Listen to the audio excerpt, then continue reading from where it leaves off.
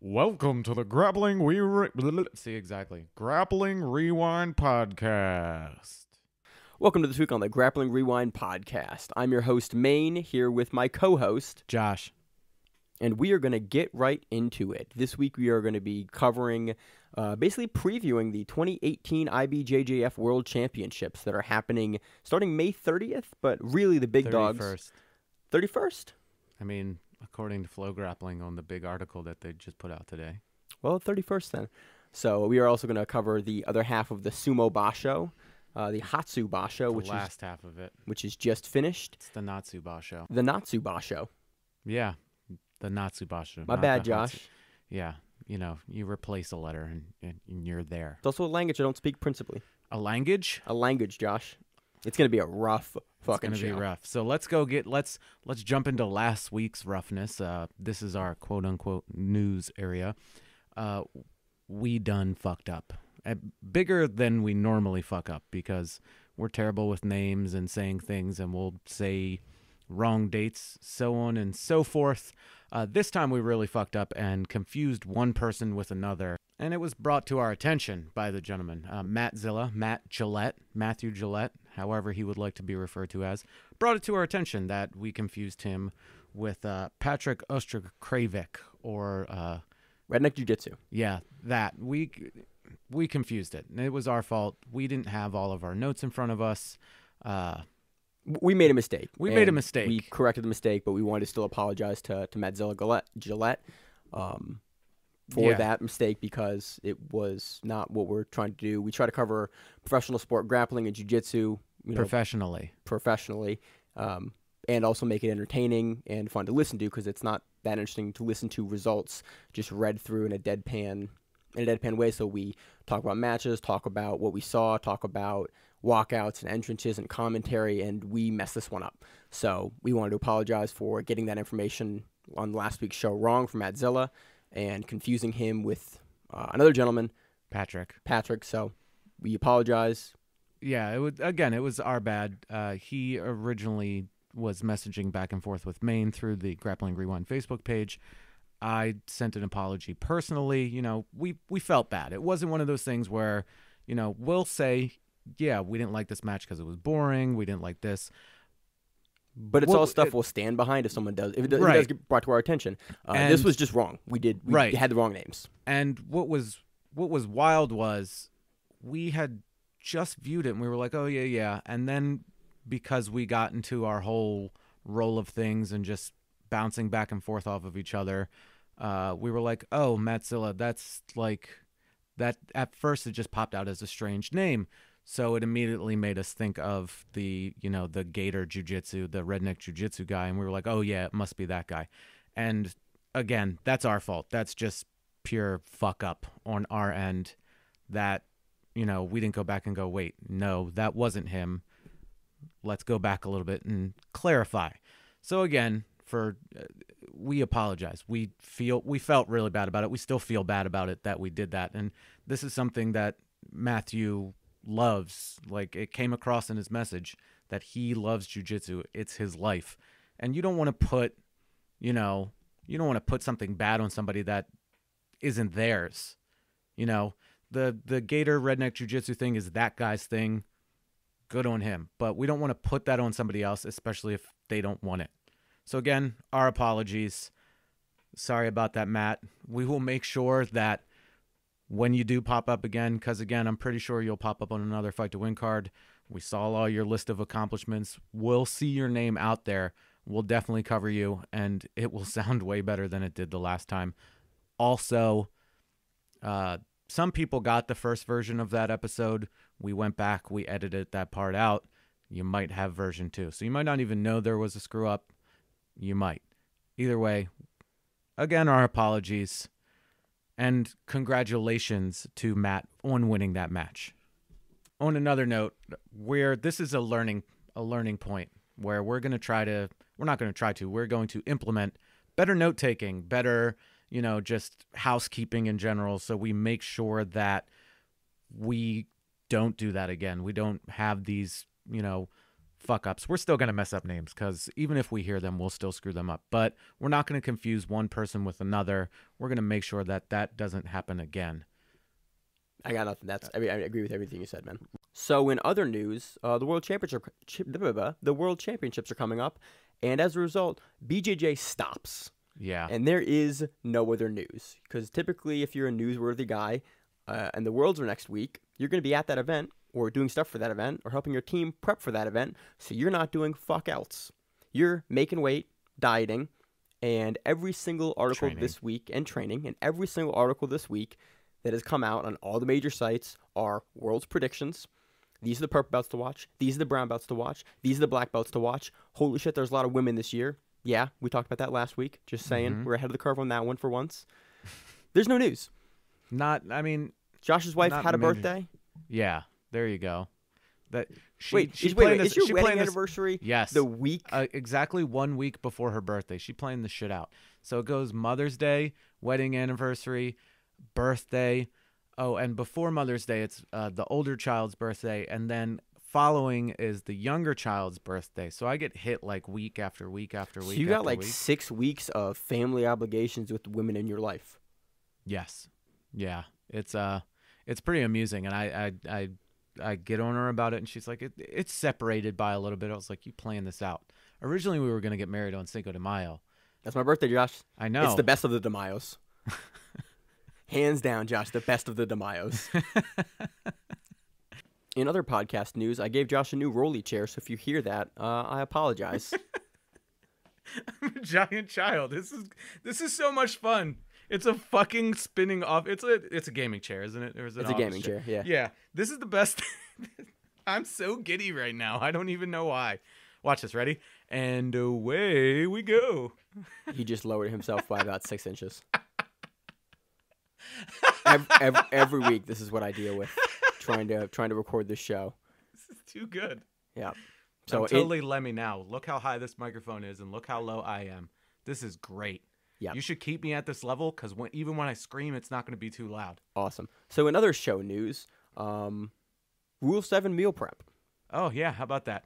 Uh, not really show news, but Maryland news. Let's talk about you being on Fight to Win 82 now because it got moved from July 14th to the 28th. Oh, it's not 80, it's 82 now.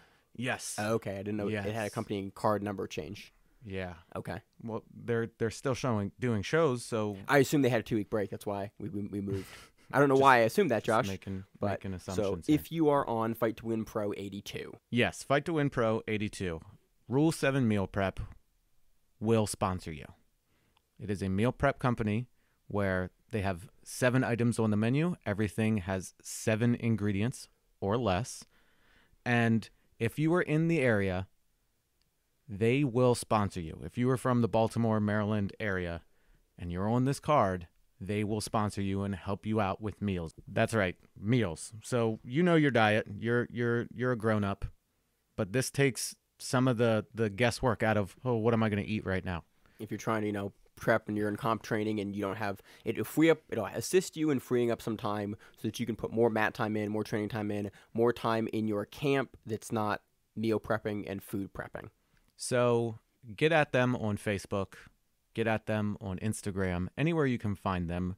Rule 7 Meal Prep. If you applied for it, start getting in contact with them. And then if you get on, even better because they will work something out with you to help you not have to worry about food. So this episode is actually recorded in two sections. Uh, we recorded the first section of the episode before the brackets have been released for Worlds, and the second section of the bracket of the show after the brackets had been released for IBJJF Worlds. Uh, we thought we'd include both of them because there are pieces and parts of each that we thought had some merit. So take a listen. If you want to jump just to the brackets section, jump to about an hour and 15 minutes in. So that will do it for the news section of the podcast. On to the results section of the podcast. And really, there's not a whole lot of results. We're going to be spending most of the episode previewing Worlds. But before we do that, uh, the Basho for sumo is over. Natsu Basho. The Natsu Basho. You wanted to say Hatsu again. I wanted you? to say Makuuchi, Josh, because that's the word I read. Oh yeah, because you know that's over there in front of your face. That's the highest division. Yes. There you go. Educating you.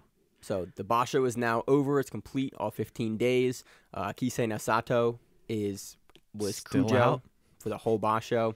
Uh, Hakuho goes 11 and 4. Kakuryu goes 14 and 1. And he won it. So it came down to the last day. Uh, Tochinoshin was on an awesome run. He took a loss. Uh, what was it? Day 13? Day 12 or 13. Day 12 it, oh, late. No. He took a lo- loss. He took a late a loss late, and uh, it was like, oh no! But he was you know tied for the running, and then took another loss. What he needed Hakuho to do today, Sunday, was to beat Kakuryu to force a playoff, which is essentially they have the same record. They're both going for the tournament win. So if Hakuho had beaten Kakuryu, Kakuryu would be at a 14, would be a 13 and two, and Tochinoshin would also be at a 13 and two, which would force this playoff. Yes. And that would just mean that they would have another match. And it's like sudden death match. Here we go. This is what we're going to do. And then we're going to decide the winner. It's not common. Um, no, it's not frequent that you end a lot of Basho with people with the same record. And most of the time you have the Yokozuna anchoring every uh, day. So you have them at the e- tail end of the card. So you see like who's going to win. And then they all go against each other in the last couple of days. Today, Hakuho and Kakuryu went against each other and it was it was a it was a very good match and it was really close at first because Kakuryu looked like he was just going to steamroll Hakuho, which is unusual. And it took all the way to the edge of the ring. They worked back in and then Kakuryu just kicked it into another gear and got him out. Awesome. That's another that is another Basho win for him. And a lot of people, including myself previously, had stated that they didn't think he was, you know, Yokozuna level. He just proved it again. Uh, my big thing this uh, Basho was Tochinoshin, who looked like a goddamn monster. I mean, He- didn't take a loss till like the 12th or 13th day of the Basho. yeah, days 13 and 14, actually. He took a loss against Kakuryu, uh, but it would have been a cool revenge kind of thing if they met up for a playoff and then he beat him. But he did beat Hakuho uh, earlier in the earlier in the week, and it was the first time in 26 or so I think it was 25. meetings? in 25 or 26 meetings that he beat him the very first time, which was amazing. I am going to say he's a lock for taking the Ozeki promotion. Uh, I don't see why he wouldn't. He's Well, had Takayasu multiple was out the whole Basho, and Goeido had a terrible Basho, and he dropped and out. six. Yeah, he dropped out uh, getting into it. Uh, Endo dropped out for a couple of days and then came back and looked like dew. Uh, Ichinojo barely squeaked out an eight and seven record. Abi still sitting at the high division, got a seven and eight. Not Yeah. not a great record, but for a guy that's moved up that much that quickly, Well, he terrible. started he started off so rough. Yeah. It was bad. It looked like he was going to go like 0 and 12 at one point, but he just I mean, up until yesterday, he was 7 and 7, so he could have turned it around and, you know, got his Kachi Koshi, but got Make Koshi, losing record and winning record, by the way, if you're not too familiar with the term. Uh, the term terminology. terminology. I'm just saying term because I forgot the word terminology. So yeah, uh, they might drop him a little bit, but he's not going to go down too far. He he did very well. Uh, uh, very impressed. Uh, Ryuden not not very good. Three and all. twelve this Basho. Same thing with Daiamami. Four and eleven. Not not good. A lot of people were, you know, run of the mill mid card kind of uh, victories there. You know, a lot of eight and sevens or nine and fives. Chiyonokuni and Takakeisho were ones that stood out. Uh, Kyokutaisei, who was just coming in, ten and five record, great record down there. Myogiryu and so he'll uh, definitely move up. Yeah, Myogiryu and uh, Nishigiki. Uh, that's the one I always Nishikigi. There we go. That's a tongue twister name, Josh. There. Uh, looked good. Ishioda probably dropping down, maybe all the way to Juryo again. There are a few of them. There's also talk of Aminishiki probably retiring. He's up there in age, up there in injuries. Did not look good at Well, he's at Maegashira. He's at Maegashira 16. Well, he just came back into Maegashira from la- last Basho. okay, he and went then- four and 11. Yeah, and I mean, he just almost every single match he just tried to pull down in Henka because he, it didn't look like he had it in him. Although the last couple of days he's looked great, uh, just not now. So And he'll probably drop to Juryo. If he continues, he, I mean, So a lot of people. retire or go to A lot of people were talking about him retiring, so who knows? It'd be a bummer. I always enjoyed him uh, competing, so we'll see. But that ends this Basho. Two months from now, we got another one. We'll talk about it more. You'll either skip this part or be like, "This is interesting." And that's all. So that'll do it for sumo. On to the 2018 IBJJF World Championships preview. Uh, we're going to start off with the rooster weights, which is pretty much the Bruno Malfacine show. Yeah, it's Bruno Malfacine's division. It's his division to lose. Definitely. Honestly, Well, I mean, Ki- I mean, Caio has beat him, and Caio has won two out of the last 12 years. two out of the last twelve. I mean, two of the years. years that Okay, Bruno he- hasn't won, Caio has won. And they're always like that neck and neck. They're always in the finals or the semis. We always see them every Yeah. year. but Caio won in 2008 and 2013. The last time he won was five years ago. That is a lot of years, Josh. But again, on the other, on the Nine-time devil's world champion. on the devil's advocate side here, Bruno's also been spending more time doing MMA recently. So That might help with his wrestling, but I don't, you know, you think he's going to be just fresher? uh, Because but he's not- That's that's that's another thing. Like he has not been. I mean, he's obviously been training in the gi for this, but he has not been running into like all of these guys repeatedly, going over and over. And I so you think that'll help him?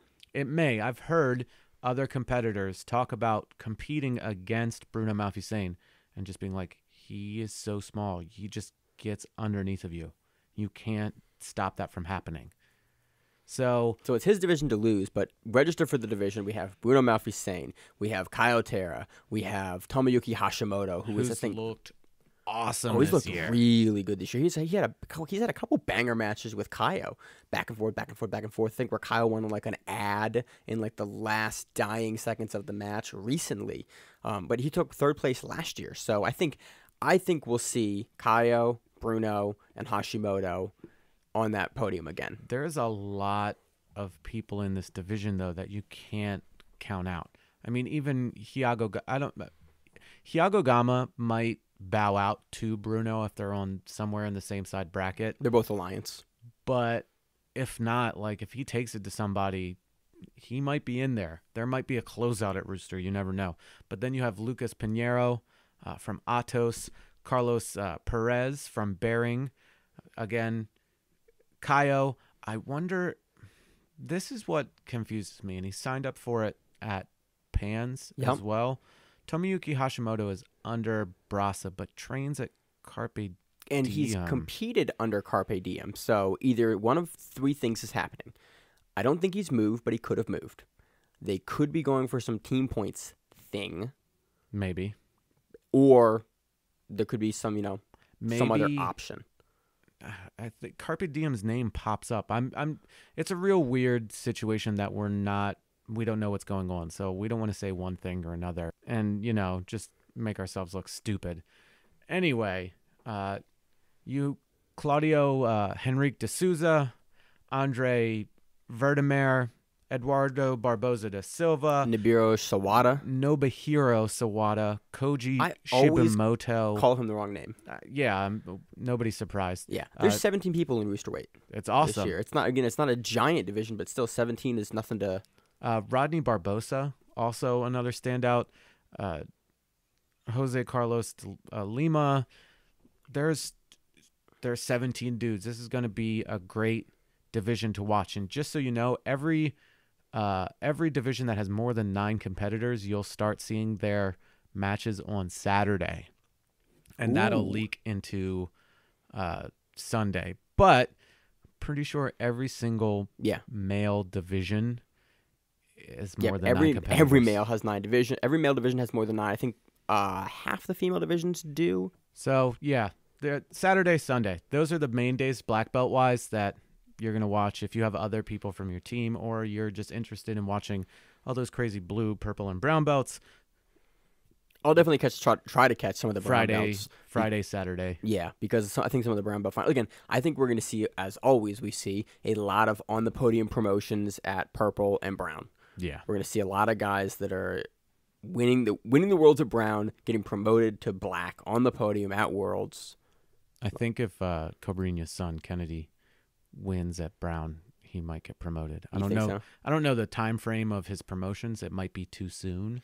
Well, even if it's too soon, do you think they'll do it on the podium and then just he'll sit out for a little bit and then? Maybe. I don't know. Not 100% sure. But let's get back into this.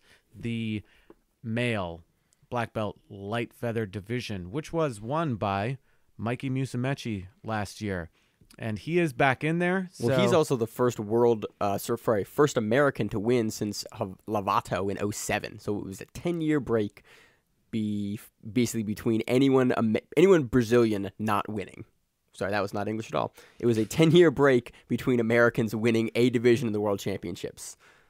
Yeah, but again, this one you you have your this is a returning champion, so you've got all these people that are gonna come after Musumeci. Uh, you have Thomas Lisboa, Gabriel uh, Marias. Those are both from Alliance. You also have Ed, uh, Edward Lisboa. I'm assuming they might be related. Yes, uh, all Alliance, and then you have Atos guys like Ari Farias, uh, Pablo Dutra, Kleber Fernandez. You know, now we're moving into other people again under Brasa, Michael Musumeci, uh, Rene Lopez in there. You have Alexandre uh, Vieira. Who else we got? Uh, Tadashi Takashima from Boston BJJ. Carpe Diem. See, Carpe Diem Hope. Maybe I don't know. That that's it's still weird to me. Kazuhira Miyachi, uh, Miyachi, Miyachi, Miyachi. Yes, I'm gonna stick with that. Miyachi from Carpe Diem Hope. Here's another one where they second place finisher João Miyao from Cicero Costa. So they might have an awesome return match. Uh, names just you know George Nakamura standing out. Washington uh, Lima, Darson Hemmings, Wanky J is. Wanky Che, uh, Luis Pinto, Yuta Shimada, Hiago George. You know, you see all of these guys popping up in the past few months in these divisions, gearing up for this. Mikey's a hard dude to beat, though. He is super focused when it comes to this stuff. Same thing with Joao.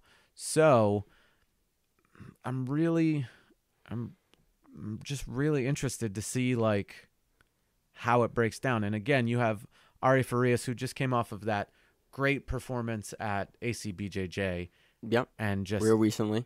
had that big point difference in that in that match. hmm Again, we have all of our former you know, one, two, and third place competitors registered again this year. You know, last year Mikey took took the took the gold. Joao was second. Ari Frias was third, and Gabriel Mora- Marias. Marias there you go. took uh, took third as well. So again, it's anyone's it's anyone's game, but Mikey is a hard dude to beat, and he's had a little time off. He just yes, but he just knows how to game the rules to the fullest extent. Like the way he plays, he just knows where he is point wise and everything, and he just he just games it perfectly. It might not always be appealing to the eye, but man, when he gets going and he just he just works it, it it it's exciting to me anyway. So that's light feather. Jumping into feather. I think this is the division one of eh, aside from like the big boys. This is the one of the lighter divisions I'm the most excited about, just because we have a lot of new blood in here, and I wouldn't even say it's all new blood. I'm just saying that there's a high possibility for an American to win this well, division. the other thing is Cobrinha. No returning champion. Yeah, it's not registered, so we have the door open for basically a new guy's going to take the division this year that didn't take it last year. So Grippo's in this division, Isaac Doederlein's in this division, Joan Neto's in this division. Kevin Mahecha, uh, Oswaldo Moisinho, uh, uh, Gabriel Oliveira, uh, uh, Leo Segorio, uh, Segorio uh, who who just had recently had great matches as well. Alexandre Molinero, holy Gilson Gilson Nunez, AJ Agazarm's in this division. Agazarm. He's There's gonna just disrupt. so many. Agazarm's going to disrupt a few guys and it's going to throw people off. Megaton is in this division. Megaton is 50 years Yep. old. I had to look it up, Josh. I went, He is What? 50. Wellington Diaz, Gracie Humaita, look at featherweight, Megaton. and if you don't know who Megaton is, Megaton is Mackenzie Dern's father, but he is also the only black belt who has competed since the inception of the World Championships. He's competed at every single one at black belt. Did he compete last year and the year before? Yep, he's the You only. checked? I didn't check, but I thought he See, did. Fact checking. I don't think he did. I Ooh, think he, broke the he broke the streak. I think I thought so. he stopped competing at adult. I thought he was at Masters those two years. that doesn't count. That's not at the world. No, it's at black belt though. It's a black belt. but he's he's been a black belt for as long as there's been worlds, which is 96. 96 97. I think 96, 96. was the first world championships. 96. So he's ha- he's competed in world championships as a black belt since 1996. It's 2018. That's a long time, Josh. Yeah. Technically 22 years. Yeah, 22 years in this competition. And he's in That's- he's in the black belt division. That's Like- wild. And he's he's 50. He's 50. Uh, Samuel Braga listed in there. Marcio Andre, who again had that uh, who had that arm cramp that stopped him at at uh, Brazilian national Yeah. Brasileiros, and that's why he went out in third. Uh, Silvio Duran, uh, Rafael Mansour from NS Brotherhood, uh, Luciano Arujo, Shane Jamil Hill Taylor. That is always a mouthful to say. Uh, but you have all of these dudes, uh, Izaki Paiva. There are so many guys in this division that could take it. It's it's such a wild division. It's it's literally the wild west of jiu-jitsu. Oh yeah. Cuz cuz Cabrera didn't show up again. There's Like- 27 people in the featherweight division. First of all, Shane Hill beat Cobrinha last year. I'm gonna say it. I've said it before. I thought he won. I I still think he won. So, killer. Grippo, killer. Uh, you know, Izaki Paiva, killer. All of these people are just monsters. And Again, it's anyone's division. I think of the 27 dudes registered, 10 of them could take it. yeah, easily. Yeah, so Easily. featherweight's featherweight's an exciting division. Anything else to add on featherweight, Josh? No, but I'm, that's one of the ones where I'm going to be watching it. I'm going to be really excited to watch it. So, jumping over to lightweight, Lucas Lepri returns as the. I mean, between him and Michael Langhi, they have taken it the past couple of years. Leandro Lo, when he was tiny, uh, took it two It's years. so hilarious running. to see Lo at lightweight. And we just recently he's not been a lightweight and Well, yeah, he just seeing him as a world champion like, oh yeah, 2013 he was at lightweight, wasn't he? 2014, oh he was at lightweight, wasn't he? Yeah, if- I mean, going all the way back, 2007 was the first time that Lepri won it. Uh, Celso took it in, in 2008. Then Langhi, two years. Gilbert Burns popped in there. That's also shocking that he was at lightweight. That dude is big. I think he, what he fights at 170 now for you. Uh, 155. Uh, one is he welterweight or is he lightweight? at- in Lightweight, I UFC? think. But he's he's also Oh, he's cutting a lot of weight. DJ Jackson. He took that match at 185, I Yep. think. yeah, Yeah. 85 from Marinas Open. No, no, no, no, no. oh yeah, fight for to um, win. fight to win. Yeah, that was yeah, 85. Fight to win. Yep. We're getting off track here, but Lucas Lepri is back. Michael Langhi in there, so that's a duo that's hard to deal with. Uh, Johnny Thomas in there. There is a lot. There's six, seven, seven people from Alliance that are just gonna try to beat up all everybody, and they're just gonna try to close out the entire division. They're gonna take first through tenth. Like it's, it's gonna be, it's gonna, it's gonna be wild. But my my personal pick for this year from Atos, JT Torres, Jonathan Torres. You think JT does it? I I I got this feeling he's just in the zone. You this you made you made this claim at our first at the at last show of 2017. You went, I got a feeling that JT Torres is going to take the world championship. And then what did he do? He won pans. He did win pans. So I'm I'm waiting. I'm waiting for him to win this world championship. In there with him to help him out, Mike uh, Michael Lira and Alex uh, Gisbert, all from Atos Jiu Jitsu. Also, another sleeper who we saw at Europeans put in work, Masahiro Iwasaki. But he's from Carpe Diem. He's not from Carpe Diem International, not from Brasa, not from Caio. He's he's listed know. he's listed as Carpe Diem. So again, I have no clue why um I don't know either. I'm not. I'm. I, I don't want to get into it. uh, checkmat. The checkmat trio: Gabriel Pontes, Renato Canuto, Marcelo Mafra. Canuto is a new addition to Mhm. the checkmat yes team, he is. but still going to be awesome. He's a great competitor. Mafra is like a steadfast. Uh, you have Francisco Itur. Uh, ugh, I always mess up. Itur Alde. I don't know. Sinistro. That's his name. That's what they call him. Jake McKenzie from GF Team. Uh, Vitor Oliveira. Najmi's in this division. Well, I'm going off these GF Team guys, but you know, you know, McKenzie looked great last year. Vitor Oliveira is a steadfast competitor. Again, Najmi, who's you know back in that upswing. In there is teammate uh, v, uh, v, Victor Silviero. I am just stumbling and bumbling. You having a rough time with the names today, Josh. You're pulling a me. I know. Uh, Espen Mathieson is in there. You've oh, there are so many. This is a 35 person division. Celso's in there. He's Yep. won it before, so Mhm. it's really these are more. Man, Celso won it back in 08. Yeah, and I think 06. Or 06. Yeah, Oh, 05. 05, 06, 06, and 08. 08. Yeah. Celso wins it. So man, there's just again, there's so many. I love this. is why I love the worlds because every year you're like, this is the one that if you train in the gi, you show up for. Oh, yeah. I'm a, I'm a, I'm really excited about and this. I'm I'm so excited about it because every single year we always get like six highlight matches. We're like, did you see that? It's like an ADCC year, but we get it every year. Yeah, it's great. Uh, oh, we left out uh, Tommy uh, Pulkkanen too. I'm not, these are like newer black belts to the to the addition of Worlds, so it's also very interesting to see what they do. Because it's not out of out of the realm of possibility that a first year black belt wins worlds.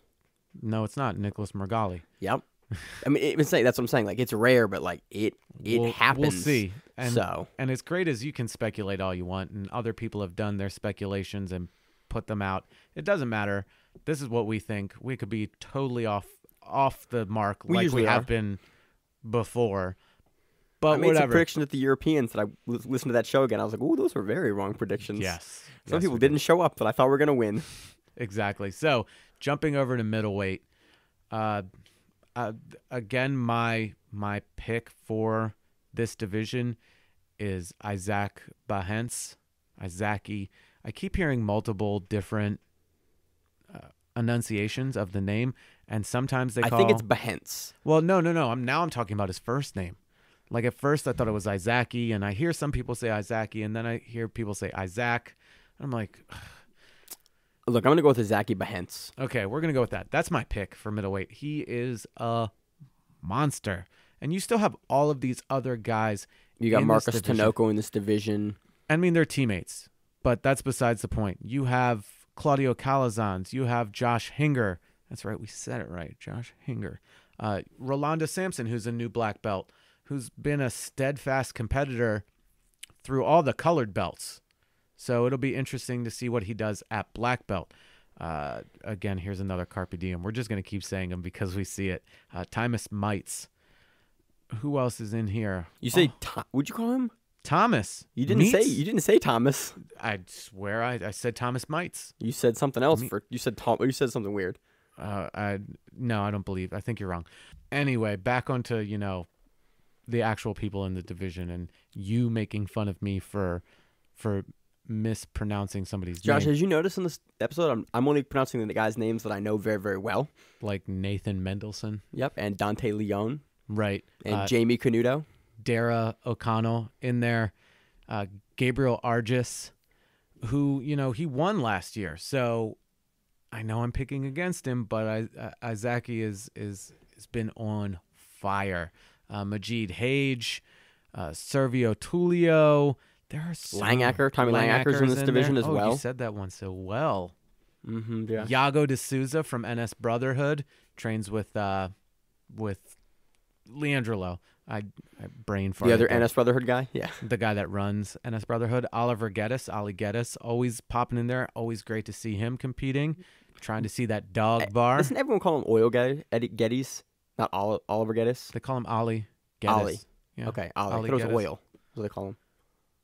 You just can't read. Maybe that's what it is, Josh. You can't read. I, for years, I called him Oil Geddes, and then I realized that it might not be oil. It's, it's Ollie. O L I. Josh, they, I invert. The, I invert the letters. That's dyslexia for you. That's, I realized like that's probably just a me thing. Oh, His his name for years was Oil Geddes, and I was like, that's a weird name. And somebody said Oliver. I was like, maybe it's me. It's maybe it's probably me. you. Uh, who else? Uh, Thomas Keenan, who we saw again the other week, looking awesome. Felipe Silva, Manuel Ribamar, 42 competitors. Yeah. Also, a, a I think one of I think this is the largest division, or are there even larger divisions than this? You make these claims before we. This is another thing that we should probably do a little bit better is make numbers and have have a to do so we don't just make random wild claims. I looked it up earlier in the week, and then I forgot. Yeah, I was correct. You're It is. yes, It is the largest division. You are Still, correct. a 42 person division. like we saw what 60 something at the Brasileiros or 100 something Well, no, there was 200 some odd black belts. black belts total, and we saw a couple divisions that were giant. But again, you need 50 points to be able to register for worlds as a black belt. So all these dudes are either former world champions or have 50 or more points. And that's not that hard to get if you hit a few of them. Yeah, but you got, but you it. still got to hit a few and win a few like opens. Well, yeah. I mean, you're gonna you're gonna compete, right? Yeah, but I'm saying like all these guys, like all of these guys are active competitors in the last couple years to have enough to be able to accrue enough points to go into this. So all of these guys compete and win. I think it's just cool. I think it's it's not an open. I just I'm amused that you're kind of shocked that people can amass points like they do. You don't ever compete except for worlds. This is when we see you. That only that one time. Right, Josh? And when you mention it like that, it makes a lot more sense. But I was amazed by it until you just said that. Was like, they win like repeatedly. They win and they show up for worlds. Anyway, getting out of this before we go down a black hole of mainisms. Moving on to middle heavyweight, the last year's winner, Andre Galvao, who is not returning. And I'm not really shocked that he's not. No, he kind of like he looked okay at King of the Mats, but he just like we haven't seen him compete Not a whole Uh, lot, no. Not a lot at all. I think the last time we saw him at King of the Mats, and then I don't think we've seen him compete this year before that. And then I think even in 2017, I don't think we saw him compete. ADCC. ADCC was the last time we saw him compete, and that was eight months ago, nine months ago, something like that. Something like that. Yeah. Anyway, we're going down again. We're going down the hole. Mateus Diniz, Renato Cardoso, Tarsis Humphreys. That's the Alliance squad. Uh, Gustavo Batista, Lucas Hulk Barbosa, uh, Diogo Silva, Atos squad. Matt Layton, we've been talking about him a lot. I like his guard. I'm Yep. looking forward to watching a few of his matches. Another, Ranked number one in UAE hey, let's see if we can put in some work for for, for. Amer- for America, for Americas. Good point. Uh, Hudson Mateus, who's been on a tear. Really excited to see what he does. Uh, Omar Saba is in here. yes. Uh, Gabriel Vieira, uh, Bruno uh, Oliveira. Man, I am just eating myself up. John Rickle, Viking Wong, Orlando Montero. Also another like steadfast competitor that's going towards the championships. Really interested to see where he's coming from. Uh, Mateus, uh, I always fuck this name up too. Spirandelli, there we go. Yeah. Uh, from NS Brotherhood. Nick Schrock, Charles Negromonte, who we talked about a lot. Diego, uh, Yeah, Diego Negromonte had a had a victory over uh, Craig Jones in the Euros, I think, in like the first or second round of the Euros. That's why we're talking about him. Nogi Worlds. Nogi Worlds. My bad.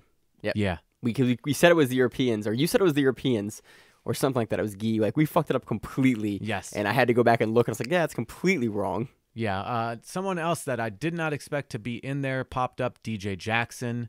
I'm not saying he doesn't compete in the gi, but I just didn't really expect to see him. Yo, is that his name? Yes, I've literally never seen DJ Jackson's name written out. Delonzio Jerome.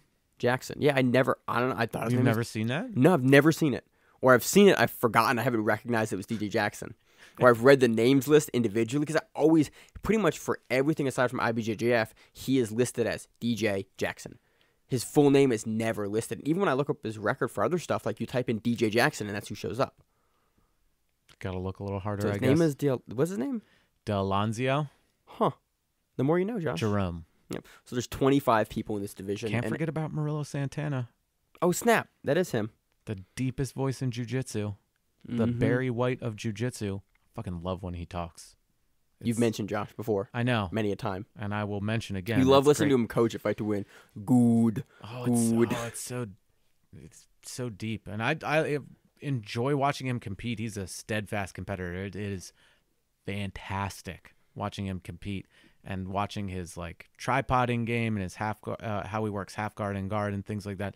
It's really awesome. Now heavyweight black belt Nicholas Meregali won heavyweight last year. First year of black belt, won at heavyweight. Uh, we just saw him Which, recently. which, by the way, if you don't know, that is some of the craziest shit to ever It's happen. impressive. It's impressive. It's a little more than impressive. Like first year black belt wins the worlds at black belt. People lost their shit last year. About well, and that. he beat Lo, and Lo had beaten him multiple times. Mhm. So, I mean, still, Yo, he has the craziest game face I've ever seen.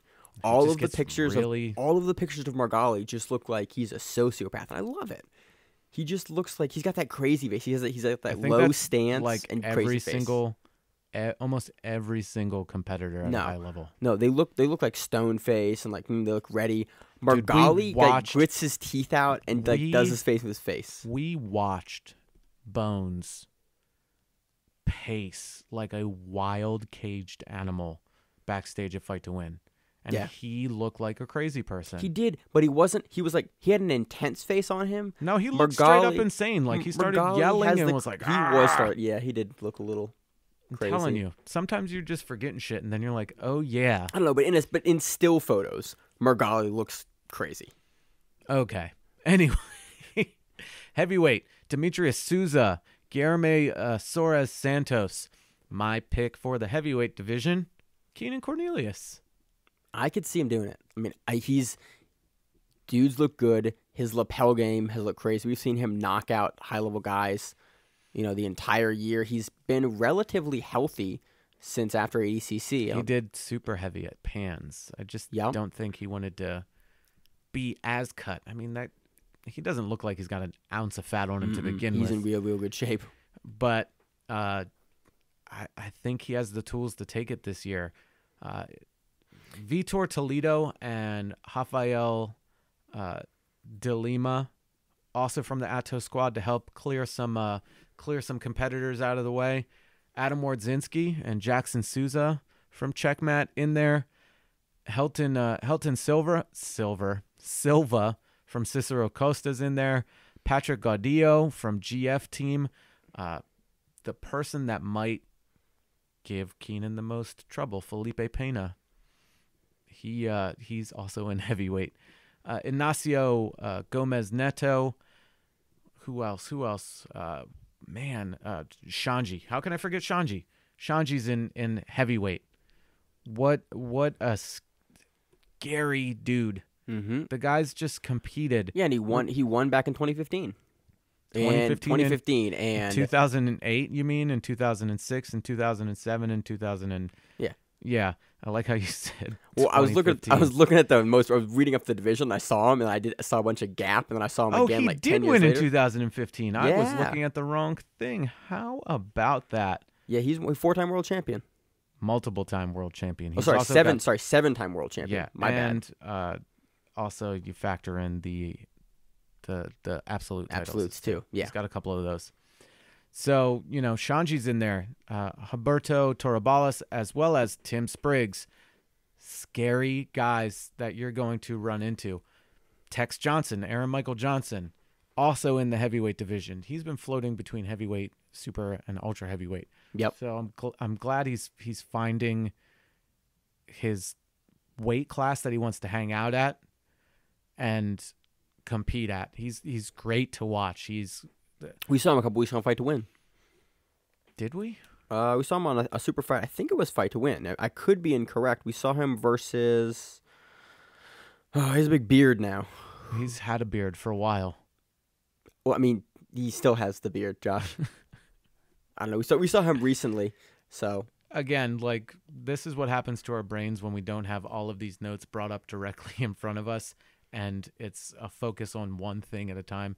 Sometimes we just forget shit. Moving on to super heavyweight. Erberth Santos was the previous year's winner. Meregali is in this division this year. Uh, this is something that I've seen and it, I brought it up to Maine, but I'm not 100% sure if we talked about it here. Jared Dopp on Alliance International. Did he leave the Ribeiro Association? I don't know. I'm assuming so. I mean, Maybe I that's thought- where he's training when he's out in Iowa. maybe, but I still thought. I mean, did he? I don't. I don't know enough about Dopp to know where he's moved to. We saw him on Subspectrum a couple weeks ago in the gi against Leighton. against Leighton, and I don't. I don't remember what he was repping there. I, it might have been Alliance as well. Man, I, I don't know if I don't know if they had a falling out or if he's changed teams or he's tra- training a different place, but he uh, he's not under. It's not. He's not listed as that. Again, another thing like Carpe Diem. Who else do we have here? Guillermo Lima, Gutenberg Pereira, who we've seen a lot all over the place. yeah, uh, Gutenberg just be- beat uh, Tim Spriggs, fight to win Pro Maryland, uh, like a you month and a half ago. Good call on that one. Uh, Igor Schneider from NS Brotherhood, Leandro Lo also in the super heavy division. This is going to be another wild division. Jared uh, Popolo from Ribeiro Jiu Jitsu. So there Yeah. you go. There's that. Muhammad Ali from Lloyd Irvin. The, uh, ooh, man, Elliot Kelly from Yamaso BJJ. One of the smaller divisions with 14 black with belts. 14 people in it. So who who who your pick for this division, Josh? What do you think? Ooh. Who do you think takes it? There's This is interesting thing we don't see Erberth in this division. is he an ultra heavy? Uh, he may have moved. We'll, we'll see him in a minute. But who do you think gets it done? I mean, I could see. Lo has been on point all year. Uh, Meregali from his previous uh, his previous performance at Brasileiros looked great. I think I think Lo takes it. I I don't know. I th- again, even with less competitors, it's hard to pick. Gutenberg looked scary looking. Mm-hmm. He's a big guy. He's a big dude, Josh. again, I mean, you have all of these people here that any some of these are just a gamble, a roll of the dice to where oh, this guy's going to win and he happens to win. You know, Lo might get taken out in the early rounds. Who knows? Muhammad Ali might beat Meregali. This is what I love about watching jiu-jitsu. You just don't know what's happening. Well, this is what I love about Worlds too, because guys bring, like, you have an A game, and then guys bring their Worlds A game. Like, oh, you can break my arm in half, and I'm gonna keep going until like the ref stops us. yeah. That's like that. Worlds is a different animal where sometimes guys just show up and have put on put on some performance. Gets 180'd. Mm-hmm. Sometimes you get snapped in a toe hold, and you smile and you look at it. and you're like, I'm i I'm gonna move on, and we're gonna close out the division, and then you don't. Onto the black belt ultra heavyweight division. Let's see, Antonio Braga Neto, who is you know he's been around for a while. I remember watching his stuff, having uh, some of his jujitsu DVDs because I thought his close guard was awesome. Uh, and by the way, Buchecha was the previous year's winner of that division. Joseph Moku uh, Kahawai. We we had issues with this last time. Kahawai, I think it is. I believe that is correct, but I cannot say it myself. uh, Carlos Eduardo Farias, uh, Yuri Simoes, which is we I haven't seen him in the gi in a while. Did we see him at ACBJJ in the gi? Or am I an idiot? Or was another guy named Yuri? It might have been another. I think it was a different Yuri. I don't know, Josh. Everyone's names blend together. they all look the same in the gi. Uh, I we saw him versus Gordon Ryan at Kasai. Maybe that's got what choked? it was. Yeah, that's what. That's Yeah. where we saw him last. Yep, that was no gi though. True, but it, it's I always love seeing guys that have been doing a lot of no gi come back to the gi. Anyway, uh, Luis Panza, footlock guy, awesome to see him in here. Buchecha, of course, popping up. Uh, Max Jimenez, Ricardo Evangelista, Tiago Gaia, uh, Alex Suarez from NS Brotherhood, uh, Victor uh, Victor Honorio from Qatar PJJ. I think he was GF team at one point or something He like but that. he's been Qatar for a little bit now. yeah, I he's think- I- teaching over there. Yeah, because that's where he teaches now. Uh, Gustavo uh, Diaz Elias from Hiberos, João Gabriel Rocha from Soul Fighter, as well as Tanner Rice. He is definitely not an ultra heavyweight. I don't know why he's at this weight class. I think he just does it for funsies. I'm props to you if you can go ultra heavy and do it for funsies. Um, I'd die, Josh. But he's, I mean, he's big. Don't get me Yeah, wrong. He's not ultra heavy big though. but he's still like a solid 200 some odd pounds, something like that. He's definitely, you know, Yeah, he's, no, he's- he's, he's filled in from when I originally saw He- him when he was like a big- lightweight. He is a bigger guy, but still, like, he- I think he's gonna. He's definitely gonna be one of the smaller guys at ultra. it it doesn't matter. It'll be awesome to see. Awesome to see him. We also have, have Admilson uh, Gobi Jr. and oh, uh, Otavio Nalati from Team Lloyd Irvin Brazil. I like how they've added that in there Yep. now, as it's like here you train with this team, but you're still repping it, and we'll call it this. So that is the men's division. I don't even want to speculate on who's going into the uh, absolute. Yeah, that was my next question for you, Josh. Is what do you think? Wild who do you fuck. think takes absolute? it's hard to bet against Buchecha. Yeah, I, to say the least. Yo, you want to I want to see. I want a guy see, with ten world championships? It's hard to bet against him, Josh. Yes, I want to see a really tiny guy in the absolutes go far though. I want. I want Bruno Malfacine to win his division and be like, you know what, this is going to be my tenth world title in the weight class.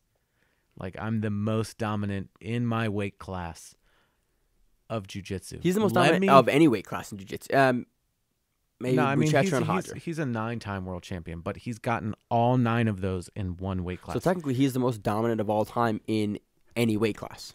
yes, as opposed to like Roger or Marcus Buchecha, who have won a couple of them. I, I want to say one, two. Let's see, one, two, three, four, five, five. They've won five in their division, and then five in the, In the absolute. Yep. So you know, he and Roger are tied right now for like most absolutes in weight classes. But if he does them both again, he's the most winning absolute champion. Yes. But I would love to see like Bruno Malfacine just be like, you know what? Screw it. I'm going in. I physically don't know how that would be possible. I'd love to see it, but I'd love to see it. I'd love to see a Miyao in there. I'd love to see yeah. JT Torres. I'd love to see. I mean, we're probably going to see Keenan in there. We're probably going to. But Keenan's a bigger guy, we've seen him True, but well I'm just saying it'd be cool. It'd be cool to see Lucas Lepri, you know, all Yep. of these other the lighter guys. And I know it's mostly dominated by bigger bigger competitors, but it would be wild and awesome. Do you know how loud the gym would be if Bruno Malfacine did the absolute at all? Every time anything would happen, everybody would explode. It doesn't matter like we hate alliance. It doesn't matter because everybody's going to be like holy shit, Bruno Malfacine is 120 pounds soaking wet and he's doing the absolutes. That's awesome. And, you know, we, uh, Maine and I don't hate Alliance. I was being some random guy that yeah, Josh like had his Alliance. hands up like he was in the stands. Yeah. So moving on to the black belt females, going to start out with the rooster weight division this year. And we're, before we start the rooster weight division, let's get something out there.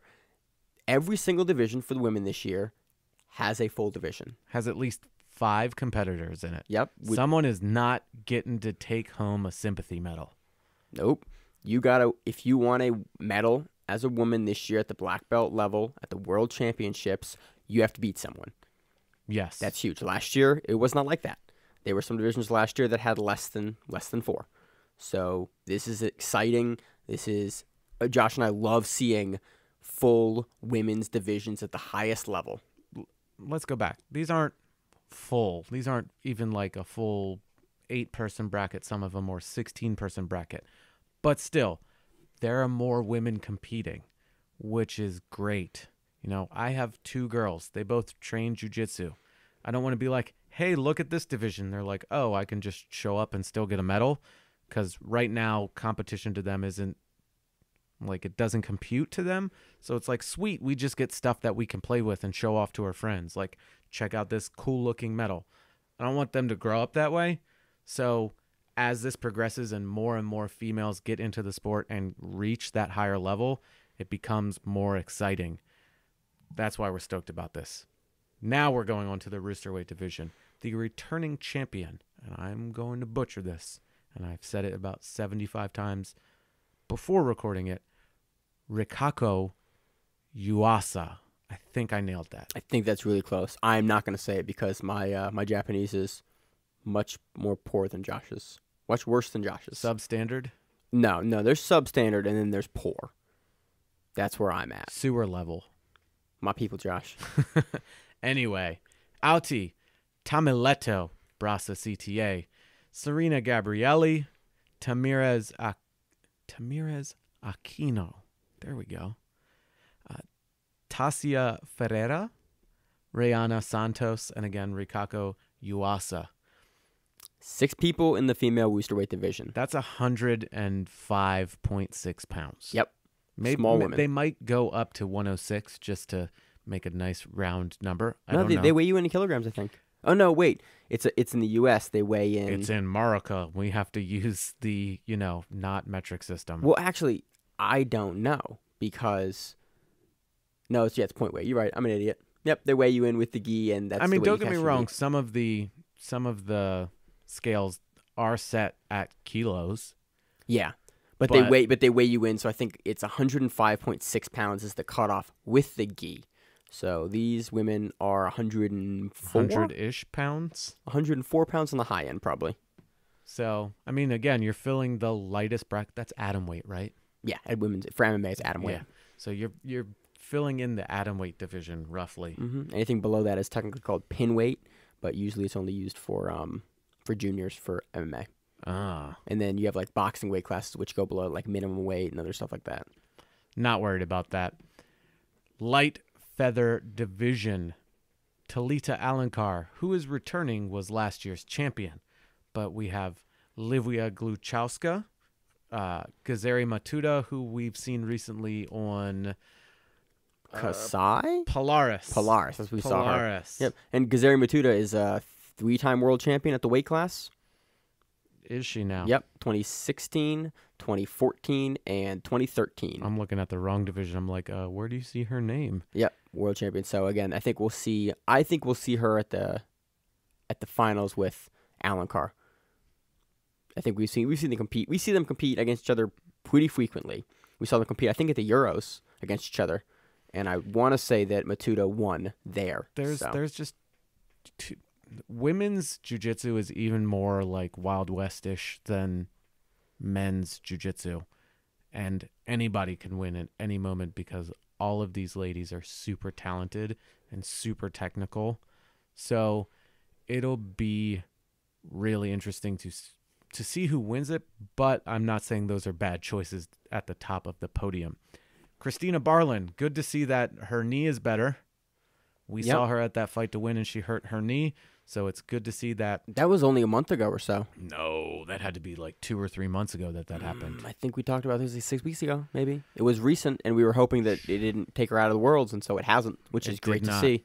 So that's cool. Patty Fontes, again, see her a lot competing everywhere. Yes, that's Patty Fontes' full name. She's he, Maine is pointing right now. yeah, I'm pointing like, so I can is find on the screen where Josh is. Patty Fontes. That's Because I'm going to read in reverse order if I don't do that, Josh. I see it now. I was like, oh, Vanessa English is in there. Yeah. Z Young is in there as well. YX Shong. YX Shong is in there as well. There we go. Uh, Sophia Amarante, uh, Melissa Bis- uh, Biscardi. And again, you said uh, Vanessa English, Saori Shibamoto from Triforce. 14. 14 women in this division, This is a big division for the women. which means on Saturday you'll see some of these matches Mhm. because it has more than nine people. Yep. You don't see that too much because the divisions aren't that large in previous worlds. Awesome. Oh, I just I totally skipped over Amanda Noguera's name. I just saw her there. How about that? Featherweight. Featherweight, featherweight, featherweight. Maxine Thylin, last year's winner. Mm-hmm. Previous winners have been Mackenzie Dern, Michelle Nicolini, Marina Ribeiro, Bianca Andrade. hmm but Dern is not in it this year. So that she lea- couldn't make weight. I mean, I'm gonna make that joke. at 50, 50, 58 kilos, She, that's math, Josh. she can't make 115. No, she didn't know. She almost didn't make flyweight. She made weight in at 123. That's oh well, she might actually be able to make. Nah, this. she It's cut weight. one- La- she cut weight last week. You're not making it in two weeks in a row 127.6. with the gi on. Yeah, good point. So turns out this year. Uh, Maxine Thylin is the previous winner. And you have uh, Bas- Bianca Basilio, and there she is right there from Gracie Humaita. Uh, in case that Emil threw you off there. It, did. We have a Ray Alexander in this division.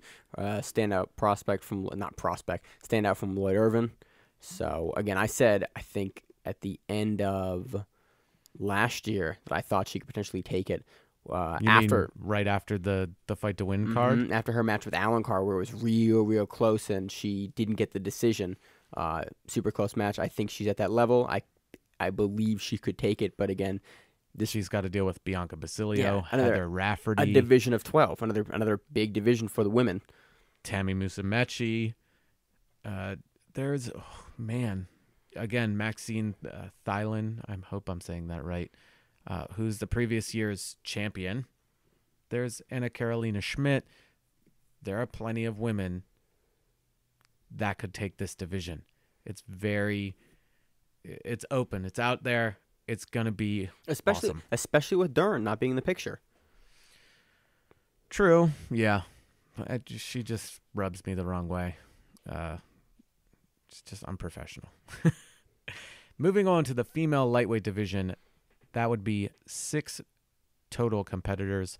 Luiza Monteiro, uh, who is in this division, was last year's champion. You have brown belt world champion Catherine Perret. That was last year that she won that. Yep. Now in the black belt division, How she makes the weight is uh, no idea. why are you saying that? Isn't Perret huge? like nine feet tall, huge? No, like I thought she was in a larger weight class. No, Who am I thinking of, Josh? I have no idea. Must have got confused. You're an idiot. Mm-hmm. Uh, Bia, uh, Bia Mesquita, Jenna Ray Bishop, six six tough ladies. Charlotte von Baumgartner, we Laura Hallock, who we just saw at Fight to Win, Mm-hmm. uh, win by knee bar, right? yep, I believe so. Yeah, won by knee bar. Or I think was it was- toe hold? Uh, now I don't remember, Josh. I They think they playing trade. I think they traded toe holds. Yes, and, and then she- she won by knee bar. She won by That's knee right. bar. Yeah, and it was in the gi, and it was a fun. It was a fun one to watch because it was back and forth in the gi with no reaps. Yes, yes. So yeah, good match. So again, Bia is a hard, hard uh, person to to bet against for this division. Catherine Perret, tough competitor. Same thing with Luiza Monteiro. So I, I think I think Bia takes it. It could be could be anyone, but I think Bia Bia's looked good. I think she takes it this year. and Jenna Bishop, I think they closed out. They didn't close out of pans. They competed against each other, if I'm not mistaken. I don't remember. I don't want to say. I I I, I want to say they did. It was one of those things, but they met up. Yeah, they remember, remember the- they was met. The absolutes. I do not Hmm. recall, Josh. We have the technology, but we're not going to do it. Nope. So moving on to the black belt female middleweights. Again, another big division with 11 competitors. We have Erin Herle. We have Hanata Maria. And again, Erin Herle, who we saw him fight to win against Catherine Perret, and. Erin Herle looked smaller than. Maybe that's why I was. I think I thought that Perret was. That's maybe where I flipped the names, is because I know that Herle looked smaller than Perret, and now Perret's in a lower weight class than Herle. Maybe. Uh, we have Era, Anna, Era, Anna Carolina Vieira, uh, Adolfo Vieira's little sister. I don't. Uh, we always we keep going back on that, or I keep going back on that. Because But sh- such a big name. I think. I True. think it's not necessarily. You know, if you have a family of high level competitors like that. Iron sharpens- duo. yeah. duo. Iron sharpens iron. But she's also last last year's man. I can't talk. Last year's world champion. So I think she was first year black belt world champion too.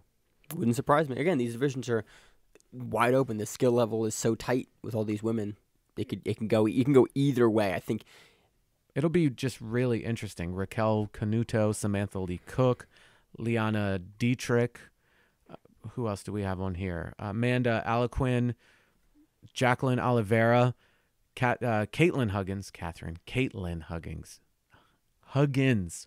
Whew, dog, I am dying here. yeah, we're having a rough day today. Yes, but eleven competitors. I this is what we like to see. You've heard us so many times say there's nobody there's nobody in the division. What's going on? Well, we saw for UAE a couple weeks ago. Even they combined the brown and the black belts, and they had some brackets that weren't full. It didn't have enough competitors to to round at a podium, and so that's why I'm so excited to see like what I would term full brackets for the women. Eleven competitors. That's a that's a full bracket. Hell yeah. Moving on to female medium heavy. Nathiely de Jesus, last year's winner. She is in heavyweight this year.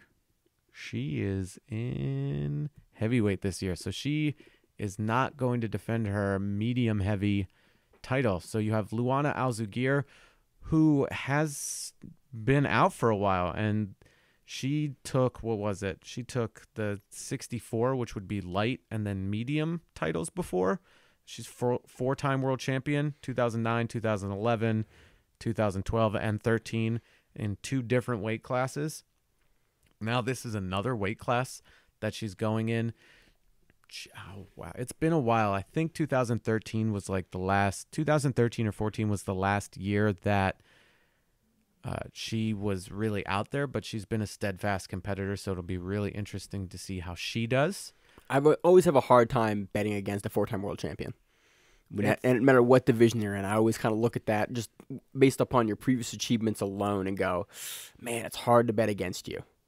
And maybe the uh, added strength from the weight will help out too. Just, I think she's been at American Top Team training, Yeah, like for have- MMA. Hmm, they have a real, real good strength and conditioning program there. I'm almost 100% certain because I remember watching Gezary Matuda's uh, build up For video Polaris, for Polaris or Yep. something like that, and Luanna was in those, so it'll be cool. Uh, Alejandra Gonzalez, Andressa Cintra, Monique Carvalho, Claudia do Val, Sabatha Santos. That rounds out the medium heavy division. yep, it's a division of seven competitors. Again, a more full division. You have enough so you, you round up the podium and then some. Three people aren't getting medals. Yeah, that's a lot. It's it's just exciting. Like you can't you can't go more into it. It's it's you have multiple competitors. You don't just have okay, we have to do a round robin or we have to do this and these people get these medals. Nah, dog, this is a legit bracket. yeah. I'm excited. I'm I'm so excited for this week when the brackets come out. I'm thinking Tuesday. You thinking Tuesday? Wednesday or Thursday maybe. You think that late? Maybe Tuesday. Man, why you gotta keep me waiting? I've, I've been refreshing the Aberdeen website. I know they're not gonna come up, but like about once a day, I'll go and I'll look. I'll go, are the brackets out yet? They're not out yet. I'm just going to be peeking at Instagram a lot, waiting for those handwritten brackets drawn out for the absolutes. oh, those are always That, good. that's when I get really excited. Jumping over to female heavyweight black belt division. That was uh, Claudia do Val was the winner of last year, and she went down to middle heavy. So she traded places with Nathiely de Jesus. So we have Jessica Flowers, steadfast competitor that we always see. Uh, Fernanda Mazzelli. Here's one that we've seen before in the bigger competitions, and we always screw it up. Jacinta X Wen Hu. I think I nailed that one. I think you did. I'm not gonna say it, Josh. and I always mess up her name, Maria Maliesic. You've been pretty honestly. You've been pretty good about her name the past like couple months. I'm gonna run into her We finally got the- she's gonna be like, "Look, dummy, this is how you say it." It's Amar Barbosa's wife. Yeah. So Well, I think Malgasic. I've, I've heard it Malgasic. That's what I've heard. Probably from you, actually. In all honesty, you have not heard that from me. I butchered it when she showed up on the card, and you were like, "I heard it was Maliesic," and I was like, "All right, I'm gonna go with that." my bad then, Josh. uh, Nathiely de Jesus is a is a good choice. Jessica Flowers also a good choice. Maria Maliesic, super tough competitor. These are all good choices for this. It'll be interesting to see how this works out. Again, it'll be interesting to see how the brackets break down. Another Division Seven. Super heavy. Five. This is the smallest, weight wise, largest, smallest division at five. The Rooster weights have more than them. So, Tayane Porfirio, uh, last year's last year's champion. Last year's weight and absolute champion. Yeah. I think uh, I think she is definitely the favorite. I think she's the top female competitor by points for IBJJF currently. I sure I know she is because they put out a they put out a graphic a couple days ago on their Instagram that showed her as the top female black belt by points. You and your your graphics. Do I love graphics? I, I love infographics. They're the shit. They're so informative. Uh, rounding out the rest of that division, and uh, Andressa Correia, Tayane Porfirio, as stated previously, Karina Santi, Vania Lukonen, and Hillary Van Ornum. That is the super heavyweight division for the black belt Yep. female. Above 80 kilograms. Who want, you want to speculate? Fire. Do you want to speculate on absolute or no? I think Porfirio takes it. Yeah, that's that's that's a smart bet. Absolute wise. It'll be interesting to see who jumps into the absolute. Yeah. Sometimes I get more excited about the female absolute than the male absolute. I like female absolute because you see a larger range of weight classes represented in the absolute. And you see a larger range of smaller competitors that tend to be able to deal with the differential in weight and can get further in the absolute. It's also usually it's always the largest women's division and it you know it for me in previous iterations it's because it's been so large it's felt it's felt special. so you know like all black belts can enter into it, right? Yeah. How fucking wild would it be if every single one of these women went into the absolute and you had like a 50 person absolute? That'd be some crazy shit, Josh. Dude, that would be fucking wild. I would I would say If- I'll I watch, just I'd went- watch it, but then I'm gonna watch it anyway. if I just went Nostradamus on this and every single woman jumps into it, uh, there's going to be a big I told you so. Man, it, it'd be hard to get some of the some of the rooster women to get into that division. Rikaku, Rikako Yuasa calling you out. Jump into the jump into that absolute division. I look, I'd watch it. Fuck yeah, I'll I watch it. So that that rounds out the female brackets. Uh, sorry, the female competitor list. Currently, it is Sunday night, so the registration for that event has closed. We should get brackets out in a couple days. The show will release on Tuesday, and you should have brackets usually in the next couple days after that. Um, You'll see an Instagram post. Oh yeah, we be posting. We be posting. So that wraps up a boring fucking episode of the Grappling Rewind. It might not be super exciting to listen to. Honestly, this episode, it's just a lot of speculation and who's who. We are putting voices to what you've already read on the internet before, but it's what we do. And there's not a lot of grappling going on this week, and you really don't want to listen to us randomly talk about shit for an hour. I love how the bumper for our show is it's garbage, but you'll listen. like thanks, Josh. Like thanks. Like we spent an hour looking at the brackets, talking about it, doing it, and Josh was like, I mean, it's garbage, but you'll listen. Yo, it's You got this far. I'm a, I'm a, I'm gonna be real. It's gonna be a little yeah, tedious. it is a little tedious. Um, Grappling rewind. It's garbage, but you'll listen. so in other, uh, put it at the end of the show. In other news, we're trying to get together a pre-order for shirts for the podcast. Uh, so keep a lookout for that in the next, you know, If you want a shirt, if you want to be like, hey, this is a dumb podcast that I listen to, let us know. so we're in the process of getting some pre-orders together for some podcast shirts. Uh, if you are interested in those, please let us know on some sort of social media, Facebook, Instagram, whatever. Twitter, LinkedIn. Twitter. You can find us on LinkedIn. Actually, you can't find us on LinkedIn. don't find us on LinkedIn. Google. Please, I was about to say, Google please, Plus. please don't tell me that you created a grappling rewind LinkedIn. I did not. Send us a God. message on a YouTube. Don't do that either. We have an email. Uh, you can email us at the grappling rewind. Sorry, at info at grapplingrewind.com Or Josh at grapplingrewind.com or, or main at grapplingrewind.com. or grapplingrewind at gmail.com. All of those work now. We got a website. We fancy a website that we don't really update or do anything with right now because we're not uh, too tech savvy. The time. have- No, it's time. It's Oh, I'm, yeah, I'm, te- I'm we're both tech savvy enough. Website design is super easy nowadays, Josh. We just click, click, click, do. It's time. Like, Oh, I got none of it. What's what's the website? What's the website builder? Wick, No, no, no, no. no. Squarespace. Squarespace. We need Squarespace to is sponsor our podcast. Hey, Squarespace. I just built this grappling rewind uh, internet site in five minutes. Do you see how easy it is? Dude, it's not that fucking easy. You're like, you can build it in five minutes. Like, if you're a fucking savant wizard, you might be able to. Like, you can get a splash screen up in five minutes that says Grappling Rewind Podcast. But if you want, like, our faces and more than one page, it's going to take you three hours. Use code word dummies for 10% off. 10% more.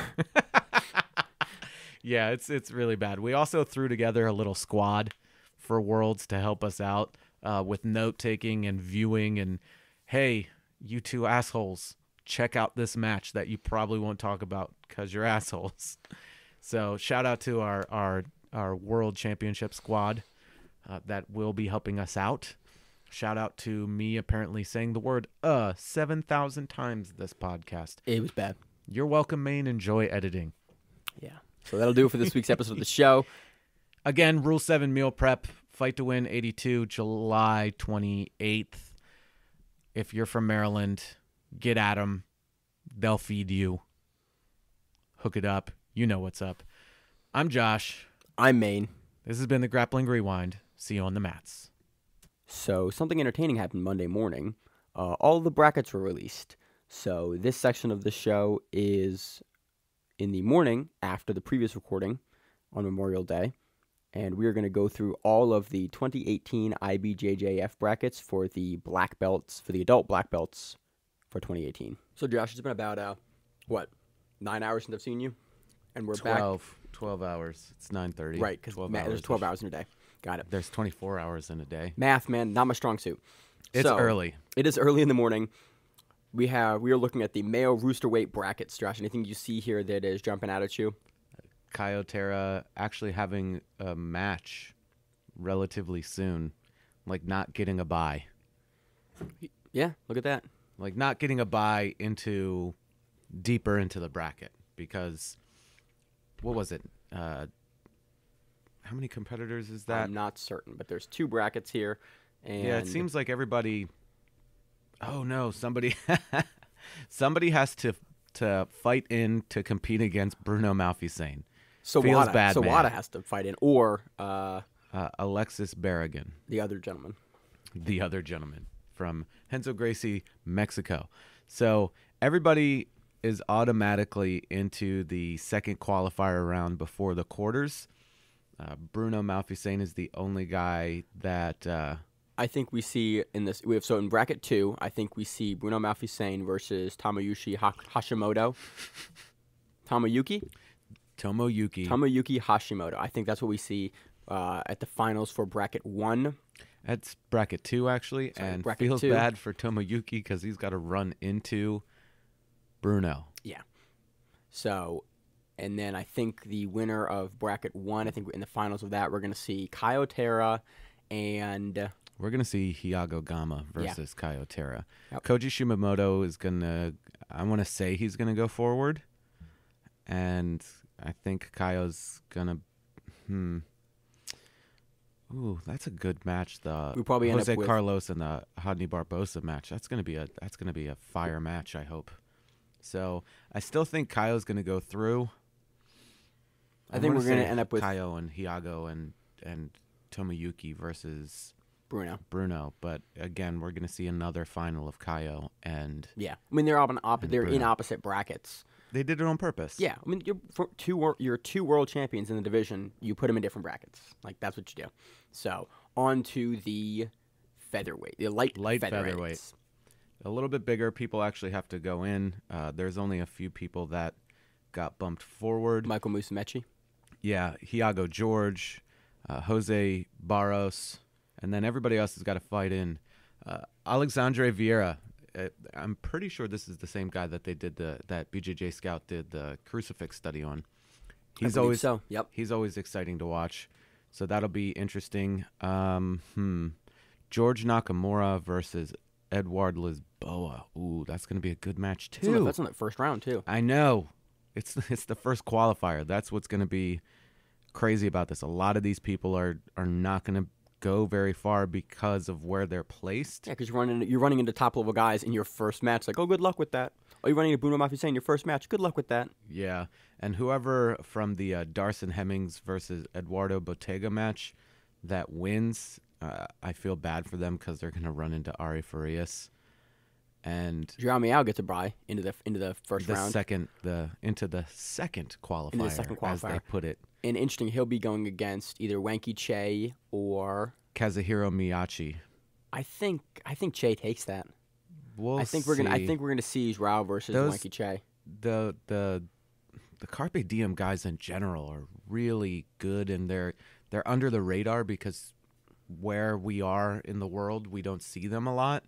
But those guys, when you see them, they are money. Yeah, where did we see Wanky Che recently? Did we see him on Fight to Win or UAE, UAE? That's where we saw UAE, him. Okay. UAE, So and then who else? Uh, Yuta Shimada, uh, Washington, Lima.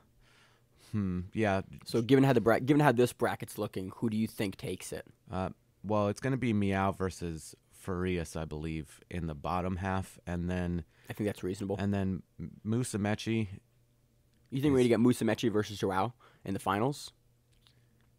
I don't know because Ari Ari is that weird outlier where he can be on and he is just dangerous. Yeah. So you think we'll see? It would be cool to see I just don't see. versus Ari, but I think Miyao is on that same level with Mikey about game planning. Yeah, I don't see anyone to- getting past Joao. Like every time he gets stopped in like the quarters or the semis or the finals or something, I'm just astounded. So, again, I think I think this is the year Joao takes it.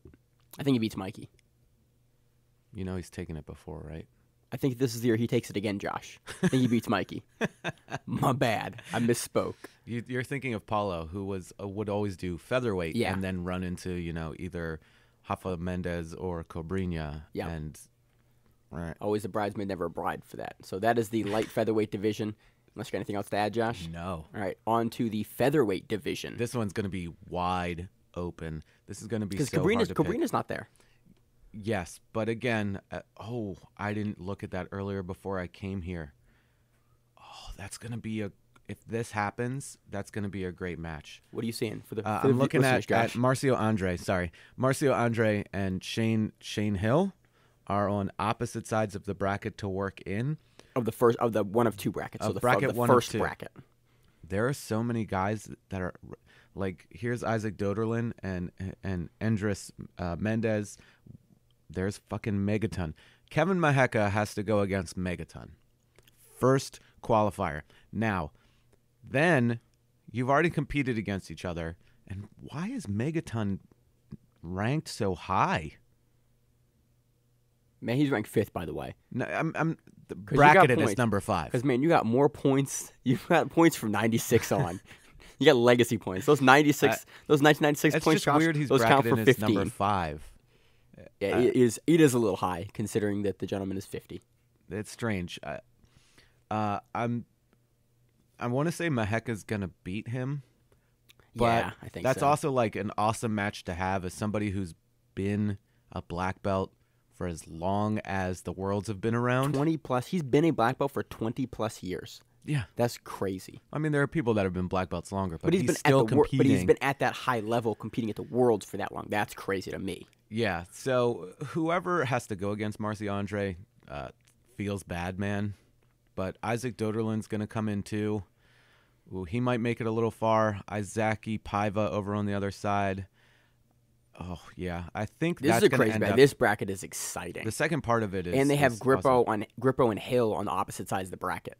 Well, they have on two separate brackets. on two separate Yeah. brackets. So they'll if they get far enough, they'll meet uh, in the finals. This will be interesting to see who he.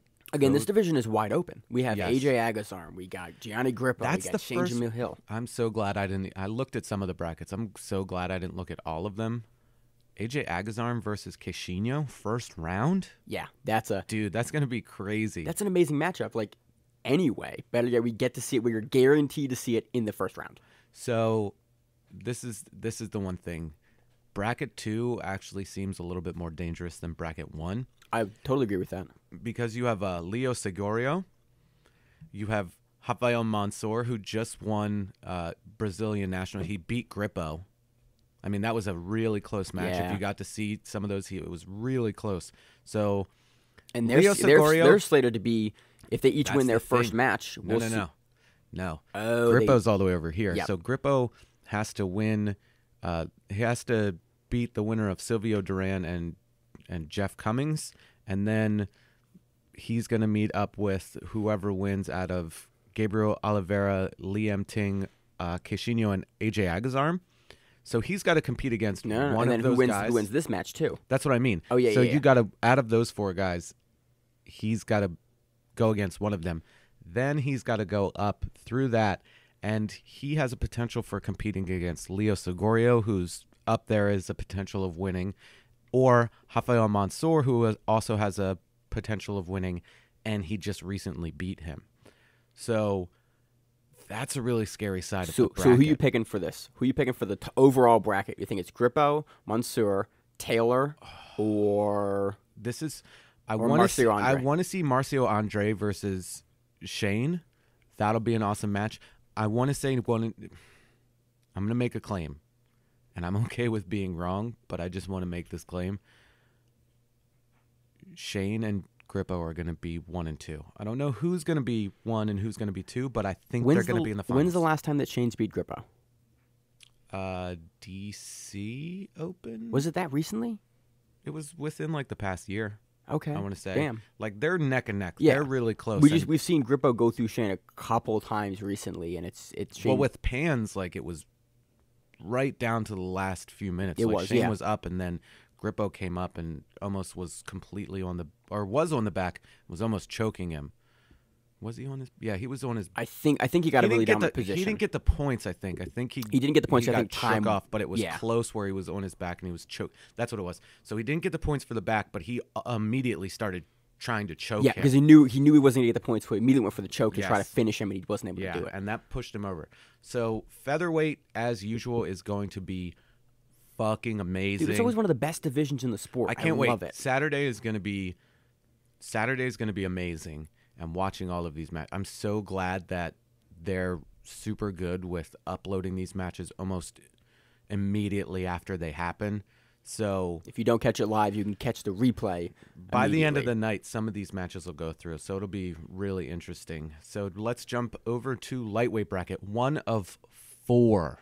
four fucking brackets. killer killers and each one of these like scary guys from each division is in a separate bracket so edwin najmi you know he's already into the second qualifier there you have uh, celso vinicius on the other side first round against sinistro espen mathiesen versus michael lira yo that's, That's, gonna what we're gonna see. That's dope. We get to see that. We get to see that regardless.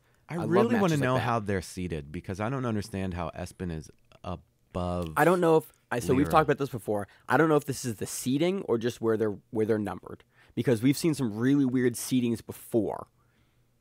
Yeah, I don't know how it works. I'd love to like talk to somebody about from the IBJJ. It might be a points thing. It may be some. It may be just a random. I don't think it's a random numbering, but there's some weird numbers here. I think we're gonna see Najmi take. He's gonna be one of the guys fighting in the all the way to the semis. It's Najmi, or it's quarters. Espen, or it's um. I think we might see Lira. Najmi versus Celso. You think Celso and Najmi are gonna go Celso for bracket is a one? tough guy to beat. He is just mean, and he's gritty. He's been around for a long time. He's a veteran. He's, he got that So- veteran swag to I him. mean, multiple time world champion as well. Hard guy to beat. I think we're going to see because Lira and Espen are on the same side as Celso. That's going to be a hell of a match. Whoever I has think to I think we'll s- I him. think we'll see that match, and then we'll see Najmi face the winner. I think. I mean, if he gets, if Najmi gets put out in one of these first two qualifier rounds, it, it'll honestly, everybody is going to be shocked. Oh yeah, Najmi's. We saw him at ACBJJ recently, and he looked He- good. He's, he's on the upswing now. Yeah. He had a few matches where he was not looking too good, and he's just like kicking now. So that's the first bracket for lightweight. The second bracket for lightweight. This is uh, Lucas Lepri's bracket to lose. Honestly, Mm-hmm. I think so. I think that's you, correct. You can't you can't say anything else other than it's his bracket to lose. There's some good guys, but I think of of the four brackets, I think this is, yeah, it's it's, it's bracket to lose. I think I mean, takes Jake this whole McKenzie. bracket. Jake McKenzie again was looking on point with his deep half. It's a little bit different from what you normally see when you think of a normal deep half. Maine's looking at it and he's like, "Oh shit, that is Jake McKenzie right there." Yep. Uh, I think we see I think we might see McKenzie versus Lepri in the what would be a quarterfinal. Would that be a quarterfinal? yeah, it'd be quarterfinal. Yeah, in one of the quarterfinal. No, that's a semi. No, because there's four brackets. Oh yeah, that's right. So that's a quarter quarterfinal. Yep. Yeah. Uh, let's see. I think I think Lepri takes it. I just think he's He- with how he's looked recently and just he's fucking Lucas Lepri. I mean, yeah, that's that's uh that's hard to to bet against. Here's another one that's going to be interesting because there are so many tough dudes in bracket 3. Michael Langhi. Jan Cabral. Uh where do you see Jan Cabral? Oh, but that's going to see he's got to go in. Yeah, He's got to he's got to get through Bispo. Diego Bispo. Yeah, who's a tough competitor, but again, they're going to run into Langhi. They're going to already have competed and have to go against Langhi. Yeah. And then Tommy Pulkkanen and Renato Canuto is the second qualifier match. Or So we're guaranteed to see that as well. Oh, and on the other side of the bracket, we have Masahiro Iw- Iwasaki. I'm getting better, Josh. Good it's, job. it's a slow burn, but I'm getting job. better. After after 29 episodes, and we're getting there. I mean, at Europeans, he looked great. He looked amazing. That's I mean, that, he put on the best performance of Europeans we've ever seen him do. And then you have uh, you have Victor Silvero, Silviero and uh, Alex Cabanas. Uh, I probably said that wrong. I'm gonna say Alex Gisbert. There we go. That's the actual last name there. So I think would it be we probably I think I- Iwasaki This and is how I'm gonna put it. The for the final four of bracket three, we're gonna have Iwasaki versus Silviero. We're gonna have Michael Langhi versus Renato Canuto, and then Ooh, I know yeah. I Langhi's gonna Buchanan. beat Canuto, and Yep. Iwasaki's gonna take it, and then we're gonna have Ooh, you think Iwasaki beats Langhi? no. I think it'll be a super close match, and he'll take a lot of energy out of him. But I think Langhi will move on. Okay, and that's what I But thought. of course- I thought too. But of course, bracket one and bracket three will probably compete against each other. Good luck uh, with that. Here, go down to the the quarterfinal matches. Yeah, so winner of mat eight. Where's mat eight? Uh, go up to one. Are they on mat Yeah, eight? they're on Yeah. mat eight. Okay, so yeah, one versus three and two versus four. So again, as uh, ooh, that is a tough ass first round. We are under the fourth bracket of the division. JT Torres versus Marcelo Mafra. First qualifier round. That's going to be dope as fuck. But JT's going to take that. And then you have Johnny Tama versus Hugo well, obviously, Marquez. JT's going to take it. Josh, you've picked JT to take the worlds Yes, this year. I, uh, yes, but I'm still saying uh, you can't just be like, oh, uh, uh, uh, well, maybe. And it's like, bro, you already picked the guy to win. I'm aware of this, but still, it's going to be an awesome match. And honestly, given his bracket, uh, I would I would agree with you. He is the I think he is the front runner to take the bracket. Uh, Well, Again, some you have good, Johnny some Tama, good, who's a good solid guy. competitor. You have Hugo Marquez. They're going against each other in the first qualif- yeah, the first qualifying round.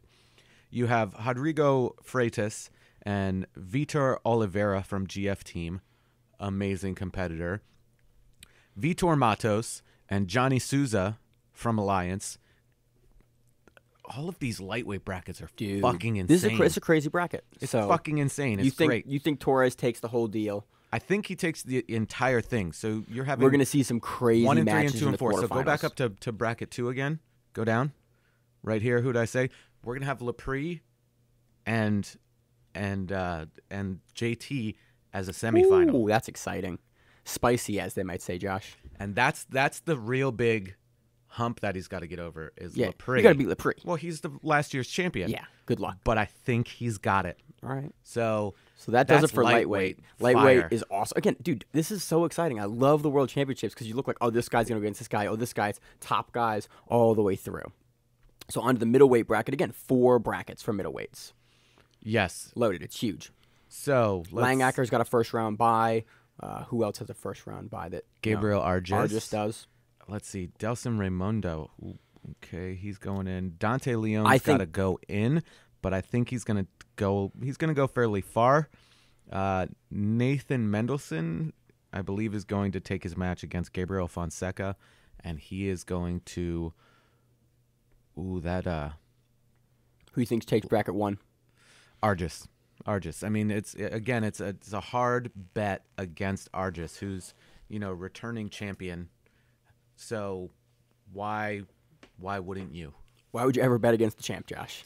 So that's I mean, the first they bracket. might look really shitty. That's why. I mean, you know, But Arges second is a safe bracket we have t- Marcus Tinoco.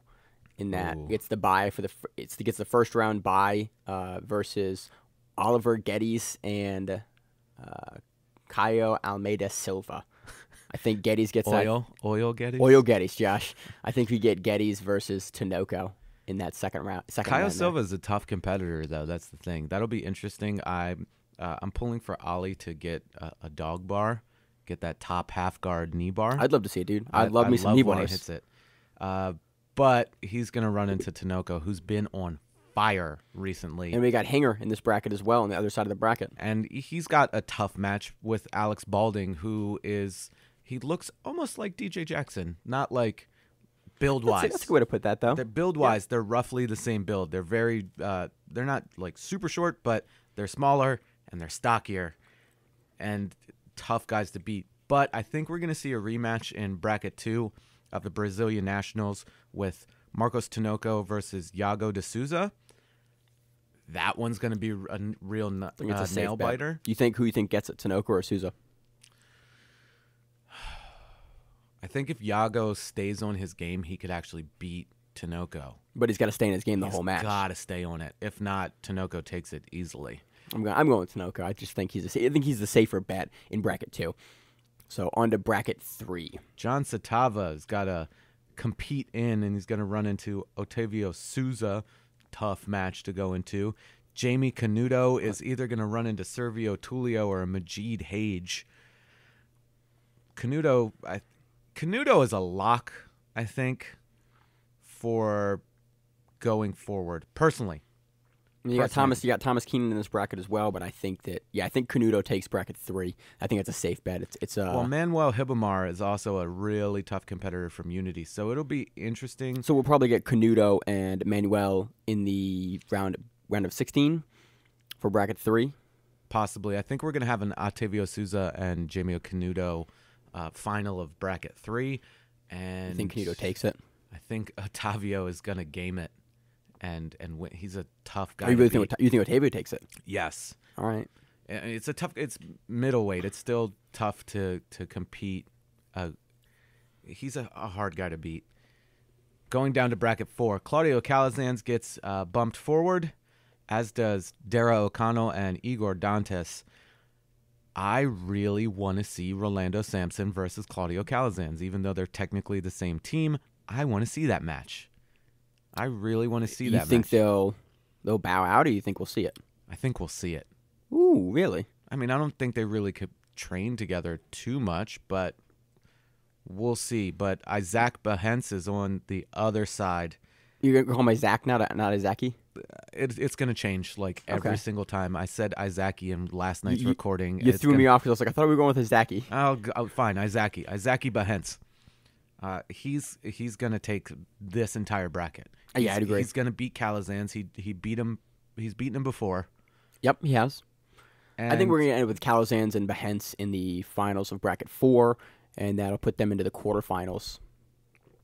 Yeah, but again, Bahiense takes that, and again, I picked Bahiense last night, if I'm not mistaken, to take the entire bracket. No idea, Josh. I forgot. We went through a lot 12 of names hours- last night. In the 12 hours we were recording, we went through a lot of names.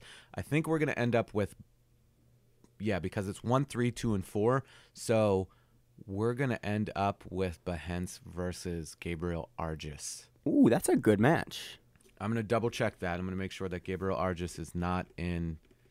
Uh, no, yeah.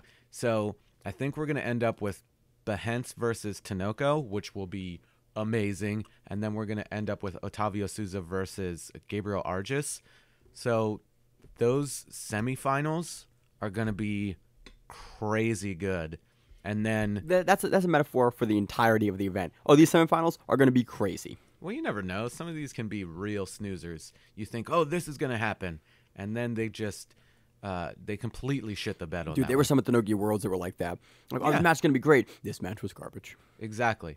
Okay, jumping over medium heavy. This one's a little bit smaller, where you have uh, two You only have two full two brackets. brackets, but still. Let's see, Nick Schrock's over here. Ooh, that's con- ugh, that is a rough draw. So Nick Schrock or Bruno Oliveira, whoever wins that match, Get the honors of competing against Hulk. you got to go against Hulk. Ow. Lucas Barbosa. Oh man, Thiago Silva and Charles Negromonte first round, solid match. Mateus Diniz versus Diogo Silva. We're gonna potentially see Charles Negromonte versus Mateus Diniz, which That'd be a good match. hell yeah it would. Let's see, Mateus Souza from NS Brother. Ooh, Hudson Mate. Ooh, Dude, this whole bracket again is so good. We have Matt Matt Layton La- Ooh, versus. Samir Darmo. no, that's Assure Oh, Assure. Sammy Sam- Darmo. Wow. It's blown up, and you still can't read it. I messed that up bad, Josh. I got. I have no excuse for how poor that was. Matt, yo, we could see Matt Layton with his crazy guard versus Hudson Mateus. that like, would be good. I think we. I think that'll probably what we'll see. I think Yo, we'll see that- Mateus that- versus Layton. Mateus with his like relentless guard passing style, and he's got a great guard too. And then you have Layton Oh, yeah. with that sick guard. That will be super awesome to see. And let's see, Mateus Spindarelli. That's who it was. Or Spirandelli. There we go, and not Souza. But that'll be interesting. Ooh. I, I, I don't even want to pick Matt Layton and Hudson Mateus. That's just going to be wild. Yeah, I, I, I have to though. I'm going to say we have Mateus versus Charles Negromonte. Oh no, no. Yeah, I think- versus Hulk. Yeah, I think I think Hulk takes. Hulk. I think Hulk takes this bracket. I mean, it's a stacked bracket, but I think Hulk takes it. I don't know. Dude, he looked good. He's looking absolute. Like he's looked good. He didn't do his weight though oh, he didn't, did he? in At- Brazilian nationals. No, he just did the he just did the absolute. yeah, I forgot about that. So on to bracket two of the medium heavyweights. Ooh, Orlando Montero. Murillo Santana at the top of the bracket. I know, and we're gonna have Murillo Santana. I feel against Orlando Montero, and Montero's just been on a tear recently. You think uh, we see Renato Cardoso versus Orlando in this one? No, because they're on the opposite sides of the bracket. That is how you read a bracket, Josh. My bad. yes, bad. it is. Uh, we will see Renato Cardoso versus Tarsis Humphreys, which will be wild. But I think we're gonna have Tarsis versus Orlando Montero, and I think that's reasonable. Yeah, I, I Orlando's that. gonna take it. And then you know, with that, what you're calling, it's gonna be Orlando versus uh, Hulk. versus Hulk, which would be a cool. They've competed against each other before, and I think Hulk won. I believe so. So I think they've competed pretty recently against each other in the past year. past couple of months. I Yeah, like pretty recently. Yeah, so that'll be an interesting look. Now we get into heavyweight. I think Hulk takes the whole bracket, by the way, for, yes, for the- heavy. You, you you stated that just a second Just ago making before sure, you Josh. shoved eggs in your face. It's early in the morning, Josh. I'm eating some eggies. okay, I have I I did not eat yet. I waited. I I lounged in bed. You want some eggs? No, I don't want your burnt ass eggs. Okay? Rachel likes them that way, Josh. I can't I, help it. I don't care. So on to the heavyweights. the heavy bracket. Oh man, Xande first round bye. This is what's going to be this right here. Xande, uh, Roberto Torobal, uh, Torobas, great competitor. You got to run into Xande, I'm like Good luck, sir. dog. Sorry, he, he multiple time world champion. This is what's going to be wild. So Felipe uh, Pena versus Adam Wardzinski. Wardzinski made multiple mistakes. I felt against Pena while not sweeping and not just coming up top and just trying to stay ahead. Was this at points. ACBJJ or was this? Yes. Yeah, ACBJJ 13, I think, in Long Beach, California, yes, if I'm not mistaken. or it was 12 in Kazakhstan. One of the one of the recent ACBJJs. Oh no, it was UAE, wasn't it? They've competed against each other so much recently that I can't even remember. But we're gonna have a potential Xande versus Felipe Pena match. That's exciting, Josh. That's an understatement. That is A little bit. That is an understatement. I'm trying to no solid, Josh. Yeah, whatever. Vitor Toledo versus Felipe Silva on one side. Demetrius Souza from Alliance is either going to compete against Josh Bolin or Tex Johnson. That'll be an awesome match to watch. Too. I think we'll get. Te- I think we'll see Demetrius versus Tex. That'll be kind of cool. I'm I'm actually Oh, yeah. pushing for. I kind of want Tex to go through, like just keep going and and sort of shake shit up. It'll be awesome to see. It'll oh Dude, I- this first bracket is is kind of not all not open, but there's a couple guys that can take this. Pena. I think Pena takes this bracket. Like it's a hard. Yeah, it's I a think hard I think he gets Patch Sanji, and I think he takes it. he's he's technically not a world champion because his title got stripped because of a, a doping thing. Josh using little air quotes there. Uh, It's jujitsu. We let's all let's stop pretending. I mean, he more than likely. I want. I want to say that he probably did them. I think I don't anybody. care. I don't care. Right. I don't care either. Honestly, like whatever. You're trying to heal up. Great. You want to keep competing. How did you chew so loud? You ripped that bagel off, and it was so loud. Not only did I hear it through the microphone, I heard it through my my headphones. Sorry, man. I'm really Dog, hungry. turn your head away at least. God damn, you are unprofessional. That's the first time in, thir- in 30 shows that I've chewed into the mic. Bullshit. Taco Bell episode. That was bad, actually. Okay, that yeah. was a lot of chewing into the mic. Yeah, they were cr- they were crispy tacos. But what else can Don't you do? eat them. Eat them before. Jesus Christ. Bracket two, we got Keenan, Kai James, Cornelius in this bracket. We You could have just said Keenan Cornelius. You dude, his, do Kai James such a weird name. Like, Keenan, Kai, James, Cornelius. You want to call him Kai James, like I call King him Kai? I call him Keenan. King Kai James. I call him the Gi Wizard. He is the Gi Wizard, Josh. Uh, he gets he gets pushed through into the first qualifier. He either has to go against Inacio Neto or Rafael Lima. If he goes against Lima, I wonder if Lima will just bow out to give him a good chance to go through. I- I don't know, but it'll be interesting. But then you also have uh, Tim Spriggs right underneath of that. He- oh man, We've I seen Keenan beat Spriggs before. We've seen him beat him multiple times, Yeah. but we've also seen Spriggs show up and beat him. We ha- I think it's more rare, but we, yeah, we've seen it before. I think oh, that's gonna be that's gonna be an interesting match. Hopefully, he doesn't really like burn himself out going against Spriggs because I on the see other that side of the being bracket, being easy to do. But on the other side of the bracket, you have Patrick Gaudio versus uh, Ari S. Fernandez, ooh, from Haja Gracie. I mean, he's we've seen him. We've seen him before. yes, I can't. I can't recall where, but I know we've seen him uh, recently. Europeans or okay, probably something probably UAE. Euros. And then you have Jackson Souza and uh, Helton Silva. So I think we're gonna have a Patrick Gaudio versus Jackson Souza and Keenan versus The Tim Spriggs match, and then you're gonna have Keenan versus Patrick Gaudio. I think it's Ga- it's Gaudio or it's Souza. I think Gaudio gets it done. So yeah, I, I would agree with you. And I think it's Keenan versus. Keenan goes forward, and again, I've called Keenan already as Keenan is going to take it, and he's gonna beat. I think yeah, I think his Sil- bracket Felipe looks Pena. really good to do that. I think I do not know if he'll get past Pena. That's my that's my That's one the big. finals, dog. That's I'm definitely- that that's definitely right the finals. I, I- think he's gonna get past. When's it. the last time he's got past him? Has he gotten When was the him? last time they competed? It's been, a while. It's been a while. I- If they have it all, Uh they have. I don't. Uh, I forget what it was. it might have been Nogi. Maybe it was know. Nogi, but you so you think Keenan takes it? I I want Keenan to take it, but I think It's it's, hard hard, to bet to bet against- against Pena. Yes, yes, it is. hard. So I think that's the finals match. So under the super heavyweight bracket for the men's black belts. Hey, guess what? It's only one bracket. How about that? a yo first round Muhammad Ali versus Jared Dopp. They have a long standing rivalry that started in like brown belt and moved over into black belt. And Muhammad has only gone more forward, like gotten better. And Jared, because he's, you know, going through school and everything like that, has not kept up as much. So that'll be interesting to see how that turns out. But the the next match down is Gutenberg Pereira versus Elliot Kelly.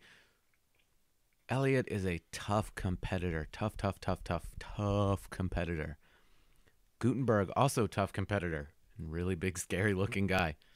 As we saw in Fight to Win Pro Maryland 70. Yes. Uh, I think we're gonna have Gutenberg versus Muhammad, which will be a barn burner of a match. I think so. I think I if think they Elliot past him. upsets Gutenberg, that'll be even crazier. Oh, I don't. It definitely will be, Josh. I, I kind of don't want to pick, but I'm going to. And uh, Igor Schneider or Charles McGuire is going to have to go against Nick Meregali, who, again, as as Maine was saying, looks like a complete sociopath when Yes, he's getting ready yes. to compete. That's his like that's his that's his competing face. Like he looks like a sociopath in pictures, which is saying something. Well, then you've also got Leandro Lo on the other side. And let's see, Rodrigo Ribeiro. This is the whole bracket. Lima. Yeah, this is a one yeah, bracket. It's a one bracket one. Uh, Leandro Lo is going to push forward all the way through, and he is going to beat one of those four people either Fernando Hayes, James Puopolo, uh, Felipe Trovo, or Manuel Ambrosio. I think we're going to have another Meregali versus Lo match. I think yeah, we get Meregali and Lo. But what I'm really interested for this bracket is what the quarterfinals look like. You know what what happens on the Muhammad Ali, Jared Dopp, Gutenberg, Kelly, and uh, Meregali side of the bracket. One of those matches is going to be all of those matches are going to be completely fucking insane. yeah. So who do you think you think takes it? You think I think takes Lo it? takes it. You think Meregali takes it? I think Lo takes it. I think I think Lo takes it too. I- Meregali is. I'm always concerned. Again, he looked great, I and he's much bigger, but I hate betting against the the current guy. well, he's the heavyweight last year's heavyweight champion. Ooh, we're in not super, heavy now. Yes, I hate betting against a guy that's a that's a last year's world champion, but Lo. it just he's been so much more active. He's been so much. He's just been doing so much more recently. I I haven't seen a ton of Meregali. I'm hesitant to bet against him, so I'm going Lo. Could be Meregali. Could be completely wrong, which wouldn't surprise anyone here. Not but at all. onto the ultra heavyweight bracket. There's two brackets for this one as well. R.I.P. to Max uh, Jimenez or Tanner Rice because whoever wins that match has to go against Buchecha. Good luck, so, sir. R.I.P. So you think? I, that- I'm not even going to speculate. This is why I think the to seating the is wrong because Buchecha's nine. I don't think they're seated. I don't think It's don't just think, a weird. He hasn't. That's the thing. A lot of these guys have been competing through the year, whereas when have you seen Buchecha? world. Stop eating into the fucking mic. God, I hate you. You. We saw him at Worlds. That was that was it. Like, what have you seen him in last in? ADCC. That might have been it. Yeah, that was like what eight months ago. That was October, November, something like that. Yeah, about eight months. Yeah. Uh, I think he takes the entire thing, but you also have to. He's going to have to go against. I'm going to say we're going to see him versus Ottavio Nalati. Uh, Ooh, that'll be fun. I think I think he beats Nalati, but then on the a big dude. He's a big boy. yeah, but as is Buchecha, and he moves. That Yeah, kid he's one of the truck. Buchecha is one of the fastest guys at Ultra. And the thing is, he knows when to turn it on as well. He's like, "All right, time to Well, move." He knows how to turn it on, and he's got that extra gear. When Yes. he gets a hold of a guy, you're just like, "What the fuck? That dude's 255 pounds, and he just lifts him." of muscle. Yeah. So And then on the other side, uh, Victor Honorio, and then you have, uh, ooh, we're gonna have a potent Tiago Gaia versus Yuri. Oh man, that's gonna, fuck, these are gonna be good. Josh, you got to say the full name into the mic. Sorry, Yuri Simoes versus Tiago Gaia. That's gonna be a great match. That's in the, The that's in the, the round of 16. That match, the winner of that match has to go against Victor Honorio, which will be another crazy match. Let's see. Uh, ooh, I don't. I, I think don't- Buchecha takes this bracket. Yes. Buchecha- and so I on mean, onto the second bracket. The second part of that bracket, anyway, you have Antonio Braga Neto, which is awesome to see him back. Ti- uh, Thomas McMahon versus Antonio Braga Neto. If he's looking good, will be there, but then he's going to run into João Gabriel Rocha. And then you have Luis Panza versus uh, uh, Carlos uh, Farias. Faria? Um, Faria. Faria. Yeah.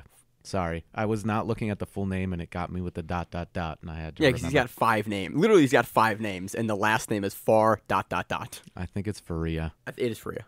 And then you have Ricardo Evangelista versus Almosen uh, Gobi Jr. On the other side, you have Moku versus Gustavo Diaz. So who takes this side, and then who gets to fight Buchecha? João Gabriel. I mean, he's the last time we really saw him lose was against Buchecha. I mean, if if Luis Ponza goes forward, he was recently beaten by João Gabriel, and then you know he's beaten Ricardo Evangelista. I don't. I think he would beat the winner of he would beat Gustavo Diaz, uh, Diaz, Diaz, or Moku. Yep, I think I agree with I think we're gonna have another final of Joao Gabriel versus Buchecha. yeah, and I think Buchecha takes it again. So And it's a different format now, so he's gonna just come at him differently because that was five rounds of five minutes. This one's one round, ten minutes. yeah, it was ACBJJ back then. So who do you, you even want to speculate now on the open class? Bouchecha. Buchecha. Who's second place? I think Keenan gets third. I don't know. Holt? I don't know. You have Lo in there. I wonder if Mm. Meregali's gonna jump in. Xande might jump in, who will definitely disrupt stuff. Ooh, I, I didn't think about Xande. Uh, Tim Spriggs will probably jump in. There's gonna be uh, DJ Jackson might jump in. Yeah, you forgot. Yeah. You forgot about. Wait, did we? I didn't see him, by the way. I wasn't going to say anything. I missed him. Unless we- his name was different. I didn't see him. He's at medium heavy. I believe so. Where is he? There he is. Oh, that's the first round. We totally missed. We totally missed his name, Yeah, because he's De Alonso Jerome Jackson. and we. I really wish it, would just be as DJ Jackson. I wish they just have regular names here. that's a awesome. That's gonna be a hard ass match. Holy shit! I didn't even realize that. Murillo Santana versus DJ Jackson first oh, round. shit. First fucking round. That's exciting. Oh shit! That might change my. Ooh. That might change my whole life, Josh. Ooh. Oh, that's gonna be a awesome fuck. Fuck, that's gonna be good. Holy shit. So on to the women's bracket breakdown for the 2018 IBJJF World Championships. Onto the Roosterweight division. Not a huge division, only six people, but that's fine. I think returning champion Rikako Ua- Yuasa is going to go into the finals again. You have Auti Timoleto, you have Ta- Tasia uh, Ferreira, and then she's, I mean, you already have Rikako in the semis, and she's going to either have to go against Tamira Zakino or Ryane, not even full name, from Gracie Baja. It says uh, Rayan Am- Amanda Carmo dos Rikako, I think, takes this. I agree. She's Never, she's never multiple, bet against your champ. and she's multiple time, multiple weight class champion. She won it at the weight class above, and this weight class last year. So it's a hard bet against her, and it's not a huge bracket. So these ladies are going to be fresh. Yeah. On to the light featherweight bracket for the women. Talita Alencar gets bumped through to the quarters already, returning champion. So does Gezary Matuda, That'll returning be champion. Re- Returning champion. Not for this weight class, but for another Okay. weight class. uh, Vanessa English is Not, at so the not returning champion at all. My bad, Josh. uh, Vanessa English at the top of Talita Alencar's bracket, as well as uh, Saori Shibamoto and Livia Gluchowska. Patty Fontes is going to run into Toledo Alencar. That's that's a definite. That'll be an awesome match. We've seen them compete against each other before. I think Talita takes it. I, I would agree. I think we have Talita versus Vanessa English in the semis on one side. I think she gets through Vanessa. I think I think we get through, we get Gezary versus Talita Alencar again in the finals. It's going to be she's Gezary's going to have a tough match with Sofia Amarante, but you also have uh, Christina Barlin on that one side that'll shake some things up. Fiona Watson, Amanda Noguera. Oh man, I, I hmm hmm. I, think we do have Talita versus Gezary in the finals, and I'm going to go with Talita. I'm gonna go with Gezary. Oh my God! Stop eating. that was a bagel, Josh. I know. Stop eating. Jesus Christ. Anyway, onto the featherweight bracket. Who, let's see. Emil Thylin, who was previous year's champion, uh, automatically into the corners. Let's see. Do, do, do. Heather Rafferty down on that same side. That's going to be a, an awesome match. Her versus Anna Carolina Schmidt. Ooh. I think we're going to have a Heather Rafferty versus Emil Thylin match with Emil taking it. But on the other side, you have uh, Bianca Basilio, who has looked crazy good. And she's going Oh, to have to go against Ray Alexander. That's going to be a fucking awesome match. Yep. That'll be Oh. that'll be one of the, I think that'll be one of the best matches for the women of the event. And then you have Karen Antunes, who is either going to have to go against Kristen Mickelson or Tammi Musumeci. We haven't seen in recent, I can't really pull it up, recent memory, Tammi Musumeci compete in a while. She's a tough competitor. I think we're going to have Bia Basilio versus Tammi, and Bia takes that. And then I think we're going to have Bianca versus Emi- uh, Amelie Thylin. I keep, I'm not sure how I'm pronouncing the name, and I think I- it's wrong. It's a she's a Swedish name, so Are you sure? I'm pretty sure she has the little with the little flag next to her name. I think that's Sweden. I think it's the IKEA flag, Josh. Uh, So who do you think takes it? You think you think it's Stylen or do you think it's Bianca Basilio takes it. She's just looked so good recently and been on fire. I think Yeah. she takes it. I can't think of a bad performance she's had recently. No, let's jump over to lightweight. I get another smaller bracket. Bia Mesquita is going to take on either Laura Hallock or Catherine Perret. I think she takes. I think Perret gets that, and then I think That's going to be a Bia takes it from Perret. that's going to be an awesome match. She's got great guard. She's got great top game, and then we're going to have ooh Luiza Monteiro versus let's see Charlotte Van Baumgartner or Jenna Ray Bishop. Jenna Ray Bishop also has been on fire. Like she looked great at pans. Every time we see her, she's looked really good. That's going to be a tough match to decide. Luiza Monteiro is a tough, tough competitor. I think in the finals here we have Beatrice versus Monteiro, or Bishop. Mm, that's a good I think question. we're going to have Bia versus Monteiro. Honestly. yeah, no, I yeah, I agree. I think Bia takes it again. She's just she's also when she found that next level because she was losing to Dern a lot, and then she found that next level and never lost to Dern again. And that one time she like just attacked, attacked, attacked, and came over and choked her, I believe. And then Dern disappeared from jujitsu, and Bia just kept on being awesome. So I think Bia takes lightweight. Going over to middleweight. Ooh, this is also uh, Anna Carolina's Vieira's bracket. I think, I think she takes the whole thing. So Erin Herle or Amanda Alequin have to run into her, and that's going to be a, a tough mountain to climb. Then you have Sarah Black, who is probably going to go against Samantha Lee Cook. I just want to call that now that they're going to go against each other. So I think Sam Cook versus Vieira. And then you have Raquel Canuto versus Leanne Dietrich and Hanata Morea versus either Caitlin Huggins or Jacqueline Rodriguez de Oliveira. Yep. I think we're going to have a Vieira and Canuto. Canuto finals with Vieira taking it. I agree. I think it'll be. I think it'll be a good match in the finals, but I think that Vieira just gets it done. Absolutely. On to the medium heavy bracket again, a, a smaller bracket. Looks like a bracket of seven. Yes. Luana Alzugir is going in versus Andressa Cintra. Luana takes that. Then she's going to have that uh, Claudio, Claudio, Claudia Anafre match. I think Luana is going to go into the finals. And then you have uh, Sabatha and uh, Monique Carvalho and Monique Elias versus Alejandra Gonzalez.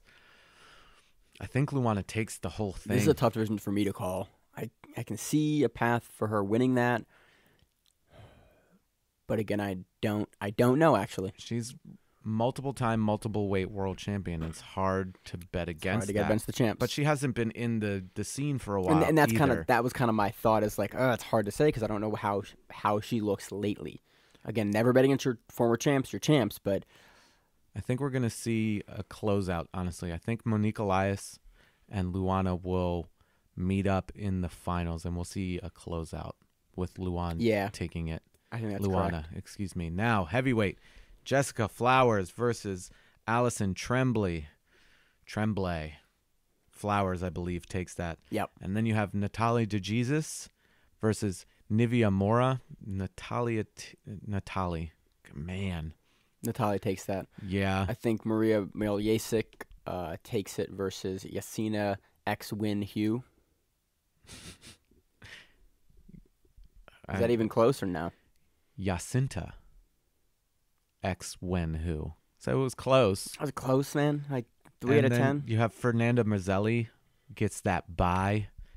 So ooh. I think we'll get Miljasic versus Marzelli, and I think I think, Malyasic, I think, will go into the finals versus Natalie DeJesus, but I think Natalie will I agree with that.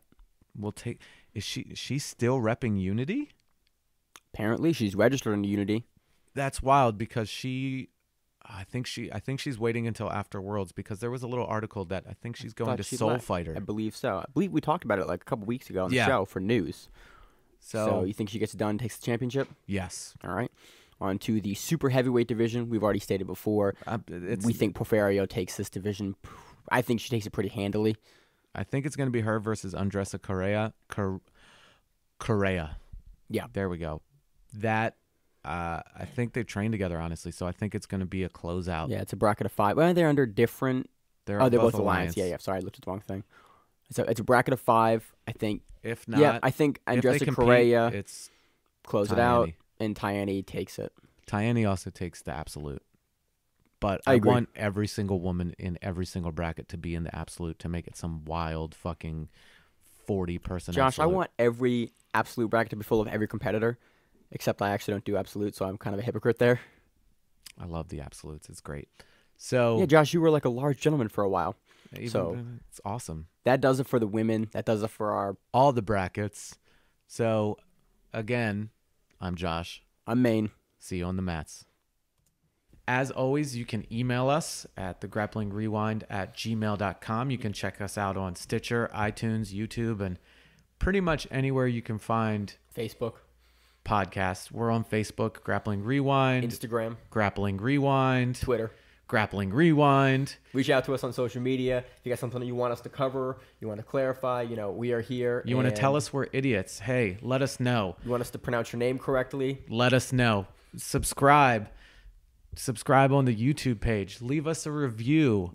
Helps us out a lot. it helps us out and you know it eventually will help you out we like to give back we're doing this as something that isn't done so help us help you again as always i'm josh I'm Maine.